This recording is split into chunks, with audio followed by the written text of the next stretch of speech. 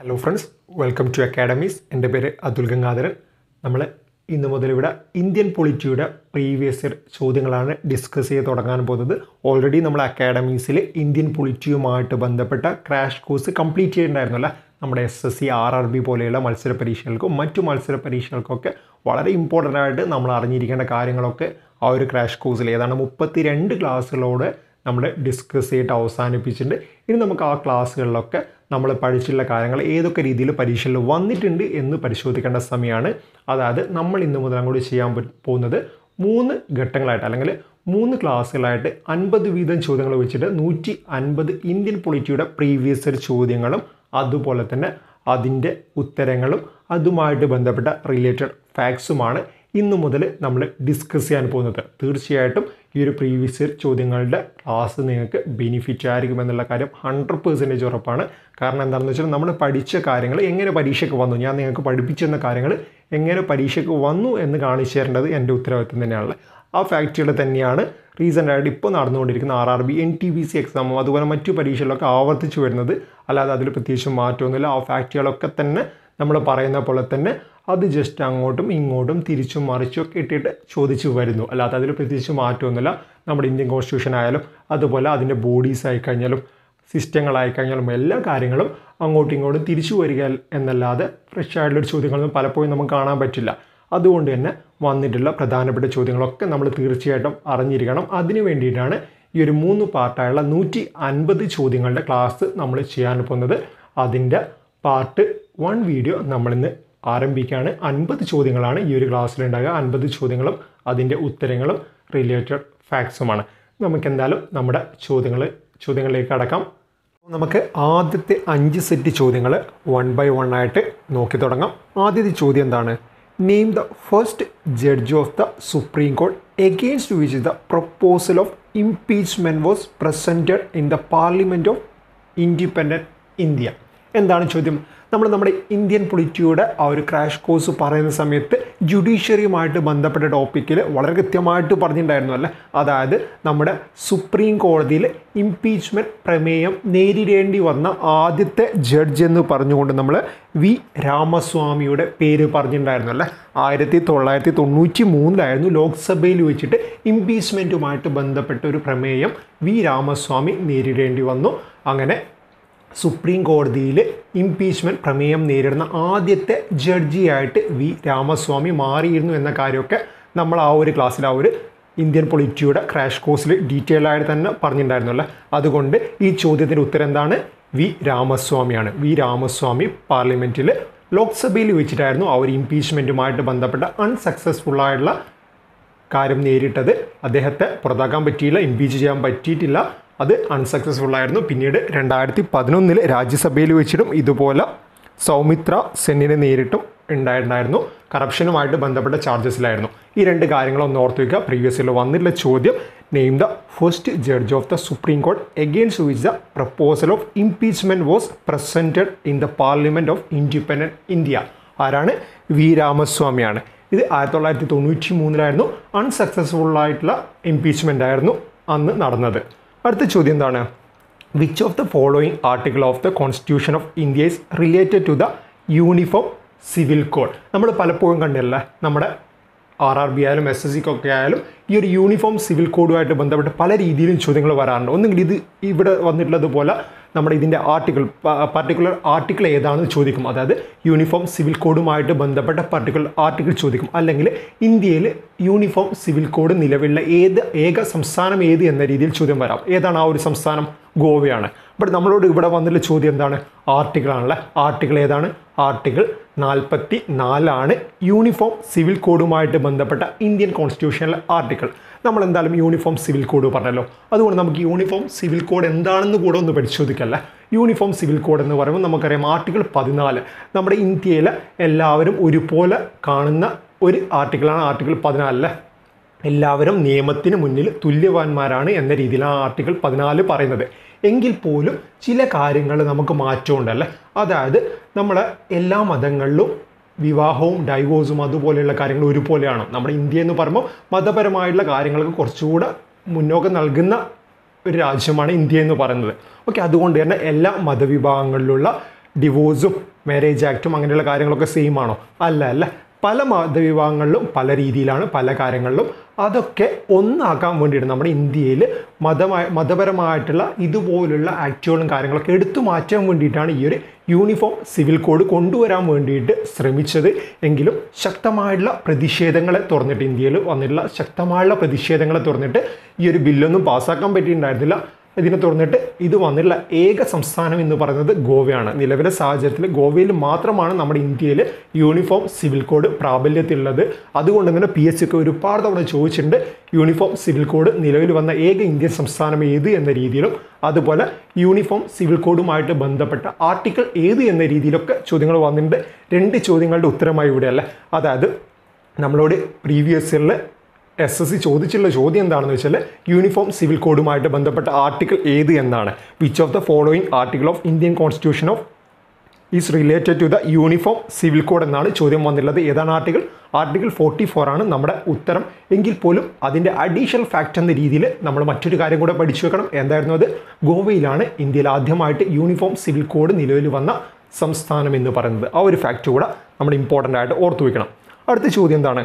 The idea of residual power in the Indian constitution is derived from the dash constitution എന്താണ് കാര്യം? നമ്മുടെ borrowed features ഉണ്ടല്ലേ? നമ്മൾ separate ആയിട്ടുള്ള കോഡൊക്കെ വെച്ചിട്ട് ഓർമ്മയില്ല? നമ്മുടെ ഗവൺമെന്റ് ഓഫ് ഇന്ത്യ ആക്ട് പഠിക്കാൻ വേണ്ടിയിട്ട് ആ ഒരു ഫിഗറൊക്കെ പർട്ടിക്കുലർ ഫിഗറൊക്കെ വെച്ചിട്ട് നമ്മുടെ ഗവർണർ ഒരു ഓഫീസിലിരുന്നിട്ട് പഠിക്കുന്ന കാര്യങ്ങളും അതുപോലെ കങ്കാരുവുമായിട്ട് ബന്ധപ്പെട്ട് അങ്ങനെ ഫിഗറൊക്കെ വെച്ചിട്ട് വളരെ ഡീറ്റെയിൽഡ് ആയിട്ടുള്ള ഒരു കഥ പോലെ നമ്മൾ ആ കോഡൊക്കെ വെച്ച് പറഞ്ഞായിരുന്നല്ല. പൊളിറ്റി ക്രാഷ് കോഴ്സ് കണ്ടവർക്ക് മനസ്സിലാവും. അതൊക്കെ നമ്മൾ വളരെ ഡീറ്റെയിൽഡ് ആയിട്ട് തന്നെ ആ ഒരു കാര്യങ്ങളൊക്കെ അവിടെ കോഡ് പോലെ പറഞ്ഞിട്ട് ഇവിടെ വന്ന ചോദ്യം എന്താണെന്ന് വെച്ചാൽ ഞാൻ ഓൾറെഡി അവിടെ പറഞ്ഞായിരുന്നു നിങ്ങളോട്. നമ്മൾ എന്തായാലും ഏതെങ്കിലും ഒരു ഷിഫ്റ്റിലെങ്കിലും നമ്മളോട് ചോദിച്ചിരിക്കും. ഇതുപോലെയുള്ള കാര്യങ്ങൾ ബോറോഡ് ഫീച്ചേഴ്സ് മറ്റ് രാജ്യങ്ങളിൽ നിന്നും നമ്മുടെ ഈ ഒരു വളരെ വലിയൊരു ഇന്ത്യൻ കോൺസ്റ്റിറ്റ്യൂഷനിലേക്ക് തിരഞ്ഞെടുക്കപ്പെട്ടിട്ടുള്ള വളരെ പ്രധാനപ്പെട്ട കാര്യങ്ങളൊക്കെ ചോദിക്കുമെന്ന രീതിയിൽ ഞാൻ പറഞ്ഞിട്ടുണ്ടായിരുന്നു. ഏതാണ് ആ ഒരു പർട്ടിക്കുലർ രാജ്യം നമ്മുടെ ഇന്ത്യ റെസിജ്വൽ പവേഴ്സ് എന്ന് പറയുന്ന ആ ഒരു കൺസെപ്റ്റ് തിരഞ്ഞെടുത്തിട്ടുള്ള രാജ്യം എന്ന് പറയുന്നത് കാനഡയാണ്. കാനഡയുടെ കോൺസ്റ്റിറ്റ്യൂഷനിൽ നിന്നുമാണ് നമ്മുടെ റെസിജ്വൽ പവേഴ്സ് നമ്മൾ തിരഞ്ഞെടുത്തിട്ടുള്ളത്. ഓക്കെ അതുപോലെ മറ്റുള്ള ഒരുപാട് കാര്യങ്ങൾ വിവിധ രാജ്യങ്ങളിൽ നിന്നും നമ്മൾ തിരഞ്ഞെടുത്തിട്ടുണ്ട്. അതൊക്കെ നമ്മുടെ ആ ഒരു ക്രാഷ് കോഴ്സിൽ നമ്മൾ പറഞ്ഞിട്ടുണ്ട്. ബോർഡ് ഫീച്ചേഴ്സ് എന്ന് പറഞ്ഞിട്ട് കോഡൊക്കെ വെച്ച് വളരെ വൃത്തിയായിട്ട് തന്നെ അവിടെ നമ്മൾ പറഞ്ഞിട്ടുണ്ടായിരുന്നു. Okay the idea of residual power in the Indian constitution is derived from the dash constitution ഏതാണ്? കാനഡയിൽ നിന്നുമാണ്. ഓക്കെ ആ ഒരു കാര്യം എന്തായാലും ഓർത്തു വെക്കണം. അടുത്ത ചോദ്യം എന്താണ്? In the year nineteen seventy eight the dash അമെൻമെന്റ് eliminated the right to acquire hold and dispose of property as a fundamental right എന്താണ് കാര്യം? നമ്മുടെ ഇന്ത്യൻ കോൺസ്റ്റിറ്റ്യൂഷനിൽ ആയിരത്തി തൊള്ളായിരത്തി എഴുപത്തി എട്ടിലൊരു ഭേദഗതി വന്നിട്ടുണ്ടായിരുന്നു അല്ലേ അമെൻമെന്റ് നാൽപ്പത്തി നാലാമത്തെ അമെൻമെന്റ് പ്രകാരം അതുവരെ നമ്മുടെ റൈറ്റ് ടു പ്രോപ്പർട്ടി അതായത് സ്വത്ത് സമ്പാദിക്കുക എന്നത് നമ്മുടെ ഇന്ത്യൻ കോൺസ്റ്റിറ്റ്യൂഷനിൽ ഒരു ഫണ്ടമെന്റൽ റൈറ്റ് ആയിരുന്നു. അതുപ്രകാരം നമ്മുടെ മൊത്തത്തിൽ ഏഴ് ഫണ്ടമെന്റൽ റൈറ്റ്സ് നമുക്കുണ്ടായിരുന്നു. ഇതടക്കം റൈറ്റ് ടു പ്രോപ്പർട്ടി എന്ന് പറയുന്ന ഈ ഒരു റൈറ്റ് അടക്കം ഏഴ് ഫണ്ടമെന്റൽ റൈറ്റ്സ് നമുക്കുണ്ടായിരുന്നു. ആർട്ടിക്കിൾ മുപ്പത്തി ഒന്നിലായിരുന്നു ആയിരത്തി തൊള്ളായിരത്തി എഴുപത്തി എട്ട് വരെ റൈറ്റ് ടു പ്രോപ്പർട്ടി എന്ന് പറയുന്ന നമ്മുടെ fundamental right one among the fundamental right ഉണ്ടായിരുന്നത്. എന്നാൽ പിന്നീട് ആയിരത്തി തൊള്ളായിരത്തി എഴുപത്തി എട്ടിൽ അന്നത്തെ ഗവൺമെന്റ് ആ ഒരു കാര്യം അമെൻഡ് മാറ്റി. ആ ഒരു അമെൻമെന്റിന്റെ നമ്പറാണ് നമ്മളോട് ചോദിച്ചിട്ടുള്ളത്. അതായത് നാൽപ്പത്തി നാലാമത്തെ അമെൻമെന്റ് പ്രകാരമാണ് റൈറ്റ് ടു പ്രോപ്പർട്ടി എന്ന് പറയുന്ന ഫണ്ടമെന്റൽ റൈറ്റ് എടുത്തു മാറ്റിയിട്ട് ആർട്ടിക്കിൾ മുപ്പത്തി ഒന്നിൽ നിന്നും അത് എടുത്തു മാറ്റിയിട്ട് അതെന്താക്കി? അതൊരു വെറും ലീഗൽ റൈറ്റാക്കി മാറ്റിയിട്ട് ആർട്ടിക്കിൾ മുന്നൂറ് എയിലേക്ക് കൊണ്ടുപോയിട്ടു.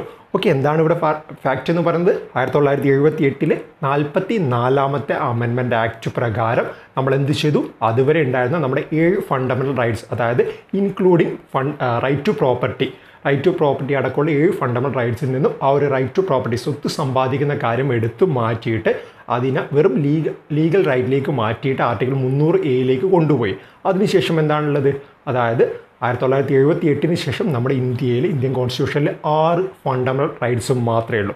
ഓക്കെ ഇവിടെ നമ്മൾ ഓർത്തു വെക്കേണ്ട കാര്യം എന്താണെന്ന് വെച്ചാൽ നാൽപ്പത്തി നാലാമത്തെ അമെൻമെന്റ് പ്രകാരമാണ് ആയിരത്തി തൊള്ളായിരത്തി എഴുപത്തി എട്ടിൽ അന്നത്തെ ഗവൺമെന്റ് നമ്മുടെ ഇന്ത്യയിലെ ഏഴ് ഫണ്ടമെന്റൽ റൈറ്റ്സിൽ നിന്നും റൈറ്റ് ടു പ്രോപ്പർട്ടി റിമൂവ് ചെയ്തത്. ആ ഒരു ഫാക്ട് ഓർത്ത് വെക്കണം. നാൽപ്പത്തി നാലാമത്തെ അമെൻമെന്റ് ആണ് വർഷവും ചോദിച്ചിട്ടുണ്ട്. ഈ ഈ ഒരു അമെൻമെന്റ് വന്നിട്ടുള്ള വർഷമൊക്കെ ചോദിച്ചിട്ടുണ്ട്. അതൊക്കെ നമുക്ക് അങ്ങോട്ടുള്ള ക്വസ്റ്റ്യൻസിൽ കാണാൻ പറ്റും. ഈ ചോദ്യമൊക്കെ നമ്മളോട് തിരിച്ചും മറിച്ചും ഒക്കെ ചോദിച്ചിട്ടുണ്ട്. ഓക്കെ അപ്പോൾ നമ്മൾ പറഞ്ഞു വന്നത് ഇത്രയേ ഉള്ളൂ. ആയിരത്തി തൊള്ളായിരത്തി എഴുപത്തി എട്ടിൽ നാൽപ്പത്തി നാലാമത്തെ ഭേദഗതി അല്ലെങ്കിൽ നാൽപ്പത്തി നാലാമത്തെ അമെൻമെന്റ് പ്രകാരമാണ് നമ്മുടെ ഇന്ത്യൻ കോൺസ്റ്റിറ്റ്യൂഷനിൽ നിന്നും അതുവരെ ഉണ്ടായിരുന്ന ഫണ്ടമെന്റൽ റൈറ്റ് ആയിട്ടുള്ള റൈറ്റ് ടു പ്രോപ്പർട്ടി ലീഗൽ റൈറ്റിലോട്ട് മാറ്റിയിട്ടുള്ള അല്ലേ ആ ഒരു ഫാക്റ്റ് ഇമ്പോർട്ടന്റ് ആയിട്ട് തന്നെ ഓർത്തു വയ്ക്കുക അടുത്ത ചോദ്യം എന്താണ്? In which part of the Indian constitution are central state relations mentioned എന്താണ് കാര്യം? നമ്മുടെ ഇന്ത്യൻ കോൺസ്റ്റിറ്റ്യൂഷനിലെ പാർട്ടാണല്ലേ ഞാൻ ക്ലാസ്സിൽ പറയുന്ന സമയത്ത് തന്നെ നിങ്ങളോട് പറഞ്ഞായിരുന്നു.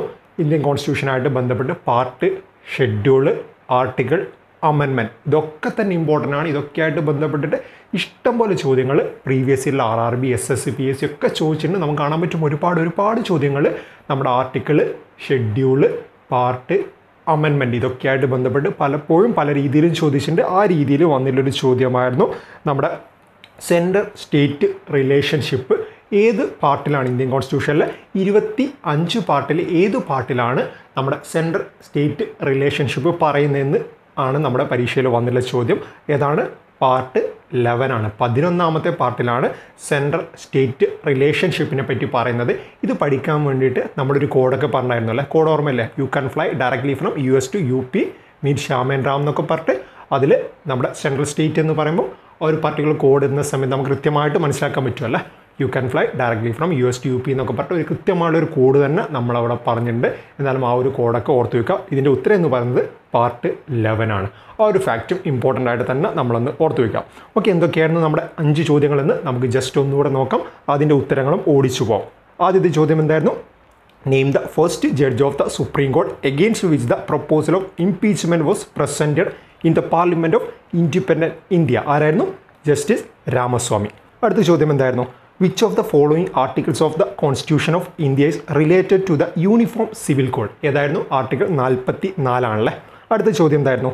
The idea of residual power in the Indian constitution is derived from the dash constitution ഏത് കോൺസ്റ്റിറ്റ്യൂഷനിൽ നിന്നുമായിരുന്നു? കാനഡയുടെ കോൺസ്റ്റിറ്റ്യൂഷനിൽ നിന്നുമായിരുന്നു. അടുത്ത ചോദ്യം എന്തായിരുന്നു?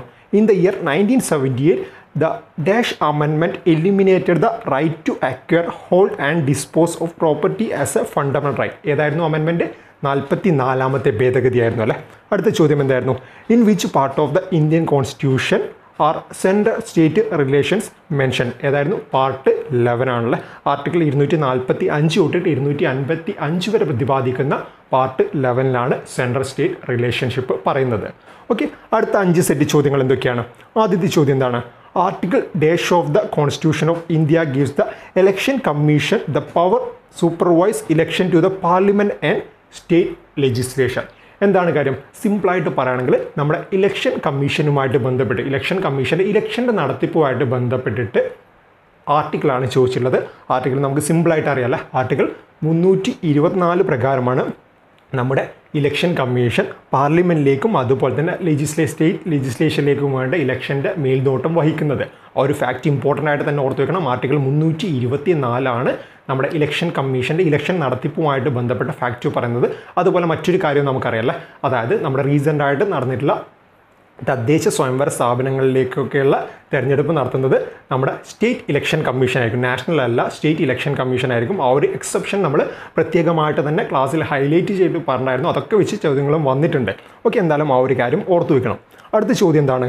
Who decide on the issue related to the disqualification of members of Lok Sabha under tenth schedule എന്താണ് കാര്യം?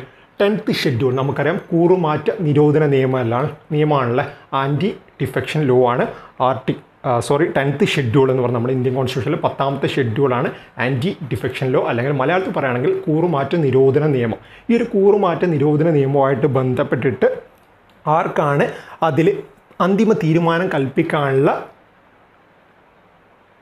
പവർ എന്നാണ് ചോദ്യം വന്നിട്ടുള്ളത്. ആർക്കാണ്? നമ്മുടെ ലോക്സഭ സ്പീക്കർക്കാണ്. ഓർത്തു വെക്കണം. ലോക്സഭ സ്പീക്കർക്കാണ് ടെൻത്ത് ഷെഡ്യൂൾ പ്രകാരം ലോക്സഭയിൽ ആന്റി ഡിഫെക്ഷൻ ലോ പ്രകാരം ഒരു മെമ്പറിനെ പുറത്താക്കണോ? അല്ലെങ്കിൽ അതുമായിട്ട് ബന്ധപ്പെട്ട തീരുമാനങ്ങൾ എടുക്കുന്നത് നമ്മുടെ ലോക്സഭ സ്പീക്കറായിരിക്കും. ഓർത്തു വെക്കണം. Who decide on the issue relate to the disqualification of a member ഒരു മെമ്പറിനെ അയോഗ്യനാക്കുക. അതായത് അദ്ദേഹം ഒരു പാർട്ടിക്ക് വേണ്ടി മത്സരിച്ചിട്ട് ആ പാർട്ടിയിൽ നിന്ന് ജയിച്ച ഉടനെ മറ്റു പാർട്ടിയിലേക്ക് മാറാൻ ശ്രമിക്കുക. അതുപോലെ തന്നെ ഏതെങ്കിലും രീതിയിൽ പണം വാങ്ങിയിട്ട് ചാടാൻ ശ്രമിക്കുകയൊക്കെ ചെയ്യുന്ന സമയത്ത് ആ പർട്ടിക്കുലർ പാർട്ടിക്ക് ഇദ്ദേഹത്തിനെതിരെ ആരോപണം ഉന്നയിച്ചു കഴിഞ്ഞാൽ അത് പഠിച്ചതിന് ശേഷം അദ്ദേഹത്തെ പുറത്താക്കാനുള്ള അദ്ദേഹം കുറ്റക്കാരനാണെന്ന് തെളിഞ്ഞു കഴിഞ്ഞാൽ പുറത്താക്കാനുള്ള ആ ഒരു പവർ വരുന്നത് ലോക്സഭയുടെ സ്പീക്കർക്കാണ്. ഓക്കെ ആ ഒരു കാര്യം ഇമ്പോർട്ടന്റ് ആയിട്ട് ഓർത്തു വെക്കണം. എട്ടാമത്തെ ചോദ്യം എന്താണ്? Which article of the constitution of India talks about the provisions for impeachment of the president of India എന്താണ് കാര്യം? ആർട്ടിക്കിളാണ് വന്നിട്ടുള്ളത് അല്ലേ? ഏത് ആർട്ടിക്കിളാണ് ചോദിച്ചിട്ടുള്ളത്? നമ്മുടെ ഇന്ത്യൻ കോൺസ്റ്റിറ്റ്യൂഷനിൽ നമ്മുടെ ഇന്ത്യയുടെ ഫസ്റ്റ് സിറ്റിസൺ അല്ലെങ്കിൽ പ്രഥമ പൗരനായിട്ടുള്ള പ്രസിഡന്റിനെ പുറത്താക്കാൻ പറയുന്ന അല്ലെങ്കിൽ ഇംപീച്ച് ചെയ്ത് പുറത്താക്കാൻ പറയുന്ന ആർട്ടിക്കിൾ ഏതാണ് എന്നാണ് അല്ലെങ്കിൽ അതിനെപ്പറ്റി പറയുന്ന കാര്യങ്ങൾ പ്രതിപാദിക്കുന്ന ആർട്ടിക്കിൾ ഏത് എന്നാണ് ചോദ്യം വന്നിട്ടുള്ളത്? ആർട്ടിക്കിൾ അറുപത്തി ഒന്ന് പ്രകാരമാണ് നമ്മുടെ ഇന്ത്യൻ പ്രസിഡന്റിനെ നമുക്ക് ഇംപീച്ച് ചെയ്യാൻ പറ്റുന്നത്. പലപ്പോഴും പരീക്ഷകളിൽ ഇന്ത്യൻ പ്രസിഡന്റുമായിട്ട് ബന്ധപ്പെട്ട പല രീതിയിലുള്ള ചോദ്യങ്ങൾ വന്നിട്ടുണ്ട്. അതൊക്കെ നമ്മൾ അങ്ങോട്ട് പറയുന്നുണ്ട്. ഇന്ത്യൻ പ്രസിഡന്റ് ആർട്ടിക്കിളൊക്കെ ഒരുപാട് തവണ വന്നിട്ടുണ്ട്. പാർണിംഗ് പവറും ഓർഡിനൻസും അങ്ങനെയുള്ള കാര്യങ്ങളൊക്കെ ഒരുപാട് തവണ വന്നിട്ടുണ്ട്. ഇവിടെ വന്നിട്ടുള്ള ചോദ്യം എസ് എസ് സിയുടെ പ്രീവിയസ് ഇയറിൽ വന്നിട്ടുള്ള ചോദ്യം എന്താണെന്ന് വെച്ചാൽ ഏത് ആർട്ടിക്കിൾ പ്രകാരമാണ് നമുക്ക് ഇന്ത്യൻ കോൺസ്റ്റിറ്റ്യൂഷനിൽ ഇന്ത്യൻ പ്രസിഡന്റിനെ ഇംപീച്ച് ചെയ്യാൻ പറ്റുന്നതെന്ന്? Which article of the constitution of India talks about the provision for impeachment of the president of India ഏത് ആർട്ടിക്കിളാണ് ആർട്ടിക്കിൾ അറുപത്തി ഒന്നാണ് ആ ഒരു ഫാക്റ്റ് ഇമ്പോർട്ടന്റ് ആയിട്ട് തന്നെ ഒന്ന് ഓർത്തു വയ്ക്കാം അടുത്ത ചോദ്യം എന്താണ്? ഒൻപതാമത്തെ ചോദ്യമാണല്ലേ the constitution of India was amended for the first time in which year എന്താണ് ചോദ്യം? ഇന്ത്യയിൽ ആദ്യമായിട്ട് ഒരു കോൺസ്റ്റിറ്റ്യൂഷൻ അമൻഡ് ചെയ്യപ്പെട്ടില്ല അമൻഡ് എന്ന് പറയുമ്പോൾ ഭേദഗതി ചെയ്യപ്പെട്ടിട്ടുള്ള കാര്യമാണ്. അതായത് നമ്മുടെ ഇന്ത്യൻ കോൺസ്റ്റിറ്റ്യൂഷനിലെ കാര്യങ്ങൾ നമുക്ക് തോന്നുന്ന പോലെ ഒന്നും മാറ്റാൻ പറ്റില്ല. അതിന് കൃത്യമായിട്ടുള്ള പാർലമെന്റിന്റെ അംഗീകാരത്തോടുകൂടെ പ്രസിഡന്റ് അസന്റൊക്കെ വെച്ചിട്ട് അമെൻമെന്റ് ബില്ല് മാറി ആക്റ്റായിട്ട് മാറണം. എങ്കിൽ മാത്രമേ ഒരു കാര്യം നമുക്ക് ഭേദഗതി ചെയ്യാൻ പറ്റുകയുള്ളൂ. ആ രീതിയിൽ ആദ്യമായിട്ട് ഇന്ത്യയിൽ ഇന്ത്യൻ കോൺസ്റ്റിറ്റ്യൂഷനിൽ ഒരു കാര്യം ഭേദഗതി ചെയ്തിട്ടുള്ളത് ആയിരത്തി തൊള്ളായിരത്തി അൻപത്തി ഒന്നിലാണ് ഫസ്റ്റ് അമെൻമെന്റ് ആയിരത്തി തൊള്ളായിരത്തി അൻപത്തി ഒന്നിലായിരുന്നു ആ രീതിയിൽ ചോദ്യങ്ങൾ വന്നിട്ടുണ്ട്. നമ്മൾ ഫസ്റ്റ് അമെൻമെന്റ് ഒക്കെ പറയുന്ന സമയത്ത് പ്രത്യേകമായിട്ട് തന്നെ എടുത്തു പറഞ്ഞിട്ടുമുണ്ട്. Okay the constitution of India was amend for the first time in which year ഏത് വർഷമാണ്? ആയിരത്തി തൊള്ളായിരത്തി അൻപത്തി ഒന്നിലാണ് ആ ഒരു ഫാക്റ്റ് ഇമ്പോർട്ടന്റ് ആയിട്ട് തന്നെ ഒന്ന് ഓർത്തു വയ്ക്കാം അടുത്ത ചോദ്യം എന്താണ്? Which of the following is called popular chamber എന്താണ് കാര്യം? നമ്മുടെ ഇന്ത്യയിലെ പാർലമെന്റ് സിസ്റ്റത്തിലെ ഏത് ചേംബറാണ് പോപ്പുലർ ചേംബർ എന്ന രീതിയിൽ അറിയപ്പെടുന്ന എന്നാണ് ചോദിച്ചിട്ടുള്ളത്. നമുക്ക് മെയിനായിട്ട് രണ്ട് ഹൗസാണല്ലോ അല്ലേ? ഏതൊക്കെയാണ്? ലോക്സഭയും രാജ്യസഭയും. അതിൽ നമ്മുടെ ലോക്സഭയാണ് നമ്മൾ പോപ്പുലർ ചേംബർ എന്ന രീതിയിൽ വിളിക്കുന്നത്. ഏതാണ് ഹൗസ് നമ്മുടെ ലോക്സഭയാണ് നമ്മുടെ പോപ്പുലർ ചേംബർ എന്ന പേരിൽ അറിയപ്പെടുന്നത്. ഒന്ന് ഈ ഒരു ഫാക്റ്റ് നോട്ട് ചെയ്തോക്കണം പലരും കേട്ടിട്ടുണ്ടാവില്ല. പോപ്പുലർ ചേംബർ എന്നറിയപ്പെടുന്ന നമ്മുടെ പാർലമെന്റിലെ ബോഡിയാണ് ലോക്സഭ. ലോക്സഭയെ നമ്മൾ ഏത് രീതിയിൽ വിളിക്കും? ലോവർ ഹൗസ് അല്ല. രാജ്യസഭ എന്ന് പറയുമ്പോൾ അപ്പർ ഹൗസ് ആ രീതിയിലൊക്കെ നമ്മുടെ പാർലമെന്റുമായിട്ട് ബന്ധപ്പെട്ട് പ്രസിഡന്റ് ലോക്സഭ രാജ്യസഭ ഇതൊക്കെയായിട്ട് ബന്ധപ്പെട്ട് സെപ്പറേറ്റ് സെപ്പറേറ്റ് ക്ലാസ്സുകൾ നമ്മൾ ഇന്ത്യൻ പൊളിറ്റിയിൽ പറഞ്ഞിട്ടുണ്ട്. വളരെ ഡീറ്റെയിൽഡ് ആയിട്ട് അവിടെ പറയേണ്ട ഫാക്റ്റൊക്കെ നമ്മൾ പറഞ്ഞിട്ടുണ്ട്. പോപ്പുലർ ചേംബർ എന്നറിയപ്പെടുന്നത് ലോക്സഭയാണെന്ന് ആ ക്ലാസ് പറഞ്ഞിട്ടുണ്ടായിരുന്നില്ല. ഒരു അഡീഷണൽ ഫാക്റ്റ് എന്ന രീതിയിൽ ഇവിടെ നിങ്ങളൊന്ന് ഓർത്തു വെക്കണം ഓക്കെ എന്തൊക്കെയായിരുന്നു? നമ്മുടെ ആറ് മുതൽ പത്ത് വരെയുള്ള സെറ്റ് ചോദ്യങ്ങൾ ആദ്യത്തെ ചോദ്യം article dash of the constitution of India gives the election commission the power supervise election to the parliament and state legislation ഏതാണ്? മുന്നൂറ്റി ഇരുപത്തി നാല് പ്രകാരമാണല്ലേ? ആ ഒരു ഫാക്റ്റ് ഓർത്ത് വയ്ക്കുക who decide on the issue relate to the disqualification of a member of Lok Sabha under tenth schedule ആരാണ്? Tenth schedule പ്രകാരം. കൂറുമാറ്റ നിരോധന നിയമപ്രകാരം ഏതെങ്കിലും ഒരു പാർലമെന്റ് മെമ്പർ അദ്ദേഹം തന്റെ പാർട്ടിയെ വഞ്ചിച്ചു അല്ലെങ്കിൽ ഏതെങ്കിലും രീതിയിലുള്ള തെറ്റ് ചെയ്തു എന്ന് കണ്ടു കഴിഞ്ഞാൽ ഡിസ്ക്വാളിഫിക്കേഷൻ ആക്കാനുള്ള അധികാരം വരുന്നത് സ്പീക്കർക്കാണ് ലോക്സഭ സ്പീക്കർക്കാണ് ആ ഒരു അധികാരം വരുന്നത്. ആ ഫാക്റ്റ് ഇമ്പോർട്ടന്റ് ആയിട്ട് തന്നെ ഒന്ന് ഓർത്തു വയ്ക്കാം. അടുത്ത ചോദ്യം എന്തായിരുന്നു? Which article of the constitution of India talks about the provision for impeachment of the president of India നമ്മുടെ ഇന്ത്യൻ പ്രസിഡന്റിനെ പുറത്താക്കാനുള്ള ഇന്ത്യൻ പ്രസിഡന്റിനെ പുറത്താക്കാനുള്ള കാര്യമാണ് ഇംപീച്ച്മെന്റ് എന്ന് പറയുന്നത്. ഇംപീച്ച്മെന്റുമായിട്ട് ബന്ധപ്പെട്ട ആർട്ടിക്കിളാണ് ആർട്ടിക്കിൾ അറുപത്തി ഒന്ന് ആ ഒരു ഫാക്റ്റ് നമ്മൾ ഇമ്പോർട്ടന്റ് ആയിട്ട് തന്നെ ഒന്ന് ഓർത്തു വയ്ക്കണം ഒൻപതാമത്തെ ചോദ്യം എന്തായിരുന്നു? The constitution of India was amended for the first time in which year nineteen fifty one ആണ്. ആയിരത്തി തൊള്ളായിരത്തി അൻപത്തി ഒന്നിലാണ്. അത് ഓർത്തു വയ്ക്കാൻ കുറച്ചുകൂടെ സിമ്പിളാണ് കാരണം എന്താണെന്ന് വെച്ചാൽ നമ്മുടെ ഇന്ത്യയിൽ നമുക്ക് ഭരണമൊക്കെ ലഭിച്ചിട്ട് ഒരു സീറോ വണ്ണ് തുടങ്ങുന്ന ഇയർ ഏതാണ് വരുന്നത്? ആയിരത്തി തൊള്ളായിരത്തി അൻപതിന് ശേഷമാണല്ലോ. ആയിരത്തി തൊള്ളായിരത്തി നാൽപ്പത്തി ഏഴിൽ നമുക്ക് സ്വാതന്ത്ര്യം കിട്ടി. പിന്നീട് നമ്മുടെ ഒരു ഡെക്കേഡ് വരുന്നത് ആയിരത്തി തൊള്ളായിരത്തി അൻപത് മുട്ടിട്ടാണല്ലോ അതുകൊണ്ട് തന്നെ നമ്മുടെ ഫസ്റ്റ് അമെൻമെന്റ് വന്നത് അത് അൻപതിന് ശേഷമുള്ള ഫസ്റ്റ് ഇയർ ആയിരത്തി തൊള്ളായിരത്തി അൻപത്തി ഒന്നിൽ ഒന്ന് ഒന്ന് എന്ന രീതിയിൽ കണക്ട് ചെയ്ത് കഴിഞ്ഞാൽ സിമ്പിളായിട്ട് നമുക്ക് ഓർത്ത് വയ്ക്കാൻ പറ്റും. ഇത്രയും നമ്മൾ ഓർത്ത് വയ്ക്കേണ്ടു നമ്മുടെ സ്വാതന്ത്ര്യം കിട്ടിയതിന് ശേഷം ആയിരത്തി തൊള്ളായിരത്തി നാൽപ്പത്തി ഏഴിന് ശേഷം നമുക്ക് വന്നില്ല. അല്ലെങ്കിൽ നമ്മുടെ കോൺസ്റ്റിറ്റ്യൂഷനൊക്കെ ഉണ്ടായതിന് ശേഷം നമുക്ക് വന്നില്ല ഫസ്റ്റ് ഡെക്കേഡ് എന്ന് പറയുന്നത് ആയിരത്തി തൊള്ളായിരത്തി അൻപത് തൊട്ടിട്ട് അറുപത് വരെയാണല്ലേ. അതുകൊണ്ട് തന്നെ ആദ്യത്തെ അമെൻമെന്റ് അൻപത്തി ഒന്നിൽ ചെയ്തു എന്ന രീതിയിൽ ഓർത്തു വെച്ചാൽ മതി. ഓക്കെ പത്താമത്തെ ചോദ്യം എന്തായിരുന്നു? Which of the following is called popular chamber ഏതായിരുന്നു? നമ്മുടെ ലോക്സഭയാണ് നമ്മൾ പോപ്പുലർ ചേംബർ എന്ന പേരിൽ വിളിക്കുന്നതല്ല ആ ഒരു ഫാക്റ്റ് കൂടെ ഇമ്പോർട്ടന്റ് ആയിട്ടൊന്ന് ഓർത്തു വയ്ക്കാം നമുക്ക് മൂന്നാമത്തെ സെറ്റ് ചോദ്യങ്ങൾ നോക്കാം. പതിനൊന്നാമത്തെ ചോദ്യം എന്താണ്? In India which of the following article of constitution of India provides for the formation of new states എന്താണ് കാര്യം? നമ്മുടെ ഇന്ത്യൻ കോൺസ്റ്റിറ്റ്യൂഷനിൽ പുതിയ സംസ്ഥാനങ്ങൾ ഫോം ചെയ്യാനുള്ള ആർട്ടിക്കിൾ ഏത് ആർട്ടിക്കിളാണ് പ്രതിപാദിക്കുന്നത് എന്നാണ് ചോദിച്ചിട്ടുള്ളത് അല്ലേ? ഏതാണ് ആർട്ടിക്കിൾ ആർട്ടിക്കിൾ മൂന്നാണ്. നമുക്കറിയാം ആർട്ടിക്കിൾ ഒന്ന് രണ്ട് മൂന്നൊക്കെ പ്രതിപാദിക്കുന്നത് നമ്മുടെ ഇന്ത്യയിലെ പുതുതായിട്ട് ഫോം ചെയ്യുന്ന സ്റ്റേറ്റ് യൂണിയൻ ടെറിട്ടറി അതുപോലെ തന്നെ ബൗണ്ടറീസ് അങ്ങനെയുള്ള കാര്യങ്ങളൊക്കെയാണ് നമ്മുടെ ആദ്യത്തെ ആ ഒരു പാർട്ട് പറയുന്നതല്ല ആദ്യത്തെ പാർട്ടിൽ വരുന്ന ആർട്ടിക്കിൾസ് ആണ്. ആർട്ടിക്കിൾ ഒന്ന് രണ്ട് മൂന്ന് ഒക്കെ. ആ ഒരു ഫാക്റ്റ് നമ്മൾ ഇമ്പോർട്ടന്റ് ആയിട്ട് തന്നെ ഓർത്ത് വെക്കണം. നമ്മുടെ ഇന്ത്യൻ കോൺസ്റ്റിറ്റ്യൂഷനിലെ ആർട്ടിക്കിൾ ത്രീ പ്രകാരമാണ് നമുക്ക് പുതിയ സംസ്ഥാനങ്ങൾ ഇന്ത്യയിൽ. ഇപ്പോൾ നമുക്കറിയാം ആയിട്ട് ഫോം ചെയ്ത സംസ്ഥാനങ്ങളാണ് തെലുങ്കാനയും അതുപോലെ തന്നെ ജാർഖണ്ഡും ഒക്കെ. ആ ഒരു സംസ്ഥാനങ്ങളൊക്കെ ഫോം ചെയ്തതിന്റെ ഈ ഒരു ഫാക്റ്റ് നമ്മൾ ഓർത്ത് വയ്ക്കുക ആർട്ടിക്കിൾ മൂന്ന് പ്രകാരമാണ് ഈ ഒരു സംസ്ഥാനങ്ങളൊക്കെ ഫോം ചെയ്യേണ്ട പാർലമെന്റ് അംഗീകാരമാണ്. കൃത്യമായുള്ള പാർലമെന്റ് അംഗീകാരം ഉണ്ടെങ്കിൽ മാത്രമേ നമുക്ക് പുതിയ സംസ്ഥാനങ്ങൾ ഇന്ത്യയിൽ ഫോം ചെയ്യാൻ പറ്റൂ. അതുപോലെ മറ്റ് സംസ്ഥാനങ്ങളുടെ ഓൾറെഡി ഉള്ള സംസ്ഥാനങ്ങളുടെ അതിർത്തിയും കാര്യങ്ങളും ഒക്കെ തീരുമാനിക്കുന്നത് പാർലമെന്റിലായിരിക്കും ആ ഒരു കാര്യം ഇമ്പോർട്ടന്റ് ആയിട്ട് തന്നെ ഒന്ന് ഓർത്ത് വയ്ക്കണം അടുത്ത ചോദ്യം എന്താണ്? In the context of Indian parliament what is zero hour zero hour എന്താണെന്നാണ് നമുക്ക് ചോദ്യം വന്നുള്ളത് സീറോ ഹവറിനെ പറ്റിയിട്ട് നമ്മുടെ പാർലമെന്ററി ടേംസ് എന്നൊക്കെ പറഞ്ഞിട്ട് കൃത്യമായിട്ട് നമ്മൾ അവിടെ പറഞ്ഞിട്ട് നമുക്ക് ഓപ്ഷനിൽ വന്നുള്ള ഉത്തരം എന്താണെന്ന് വെച്ചാൽ ഹവർ ആഫ്റ്റർ ക്വസ്റ്റ്യൻ അവർ എന്നാണ്. അതായത് എന്താണ് ക്വസ്റ്റ്യൻ അവർ എന്താണ് സീറോ അവർ തുടങ്ങിയ കാര്യങ്ങളൊക്കെ നമ്മൾ കൃത്യമായിട്ട് പാർലമെന്ററി ടേം എന്നൊക്കെ പറഞ്ഞിട്ട് ഏതാണ്ട് അൻപത് മിനിറ്റ് ഒരു മണിക്കൂറിനടുത്തോളം വരുന്ന ക്ലാസ്സിൽ നമ്മൾ ഡീറ്റെയിൽഡ് ആയിട്ട് പറഞ്ഞല്ല എന്താണ് നമ്മുടെ സീറോ ഓവർ എന്താണ് ക്വസ്റ്റ്യൻ അവർ അതൊക്കെ ആയിട്ട് ബന്ധപ്പെട്ട കാര്യങ്ങൾ സീറോ ഓവറിൽ എന്തൊക്കെ വരും ക്വസ്റ്റ്യൻ ഓവറിൽ എന്തൊക്കെ വരും എന്ന കാര്യങ്ങളൊക്കെ നമ്മൾ ക്രാഷ് കോഴ്സിൽ പറഞ്ഞ് വളരെ ഡീറ്റെയിൽഡ് ആയിട്ട് തന്നെ നിങ്ങൾക്ക് അറിയേണ്ട കാര്യങ്ങൾ വളരെ സിമ്പിളായിട്ട് ഒരു നമ്മൾ പോയിട്ട് ഒരു മീറ്റിംഗ് പങ്കെടുത്ത പോലെ തന്നെ നമ്മൾ കാര്യങ്ങൾ അവിടെ അവതരിപ്പിച്ചിട്ടുണ്ട്. ഓക്കെ എന്തായാലും ഓർത്ത് വയ്ക്കുക നമ്മുടെ സീറോ ഹവർ എന്ന് പറയുന്നത് ക്വസ്റ്റ്യൻ ഹവറിന് ഇമ്മീഡിയറ്റ് ആയിട്ട് വരുന്ന ഹവറാണ് സിമ്പിളായിട്ട് പറയുകയാണെങ്കിൽ നമ്മുടെ ഒരു പതിനൊന്ന് തൊട്ടിട്ട് പന്ത്രണ്ട് മണി വരെ ക്വസ്റ്റ്യൻ ഹവർ ആണെങ്കിൽ അത് കഴിഞ്ഞ ഉടനെ പന്ത്രണ്ട് മണിക്ക് സീറോ ഹവർ സ്റ്റാർട്ട് ചെയ്യാവില്ല ഹവർ എന്ന് പറയുന്നത് കേട്ടിട്ട് നിങ്ങൾ വിചാരിക്കേണ്ട ഒരു മണിക്കൂറോ അതിലധികം ഉണ്ടാകും ഇത് മുപ്പത് മിനിറ്റോ അതിന്റെ ആ ഒരു സമയം അനുസരിച്ചിട്ടായിരിക്കും ഉണ്ടാകുക ചില സമയം മുപ്പത് മിനിറ്റും അതിൽ കുറവൊക്കെ ആയിരിക്കും നമ്മുടെ സീറോ ഹവർ എന്ന് പറയുന്നത്. ആ ഒരു ഫാക്റ്റ് ഇമ്പോർട്ടന്റ് ആയിട്ടൊന്ന് ഓർത്ത് വയ്ക്കുക ഓക്കെ പതിമൂന്നാമത്തെ ചോദ്യം എന്താണ്? Who takes a final decision on whether a bill is a money bill or not എന്താണ് കാര്യം?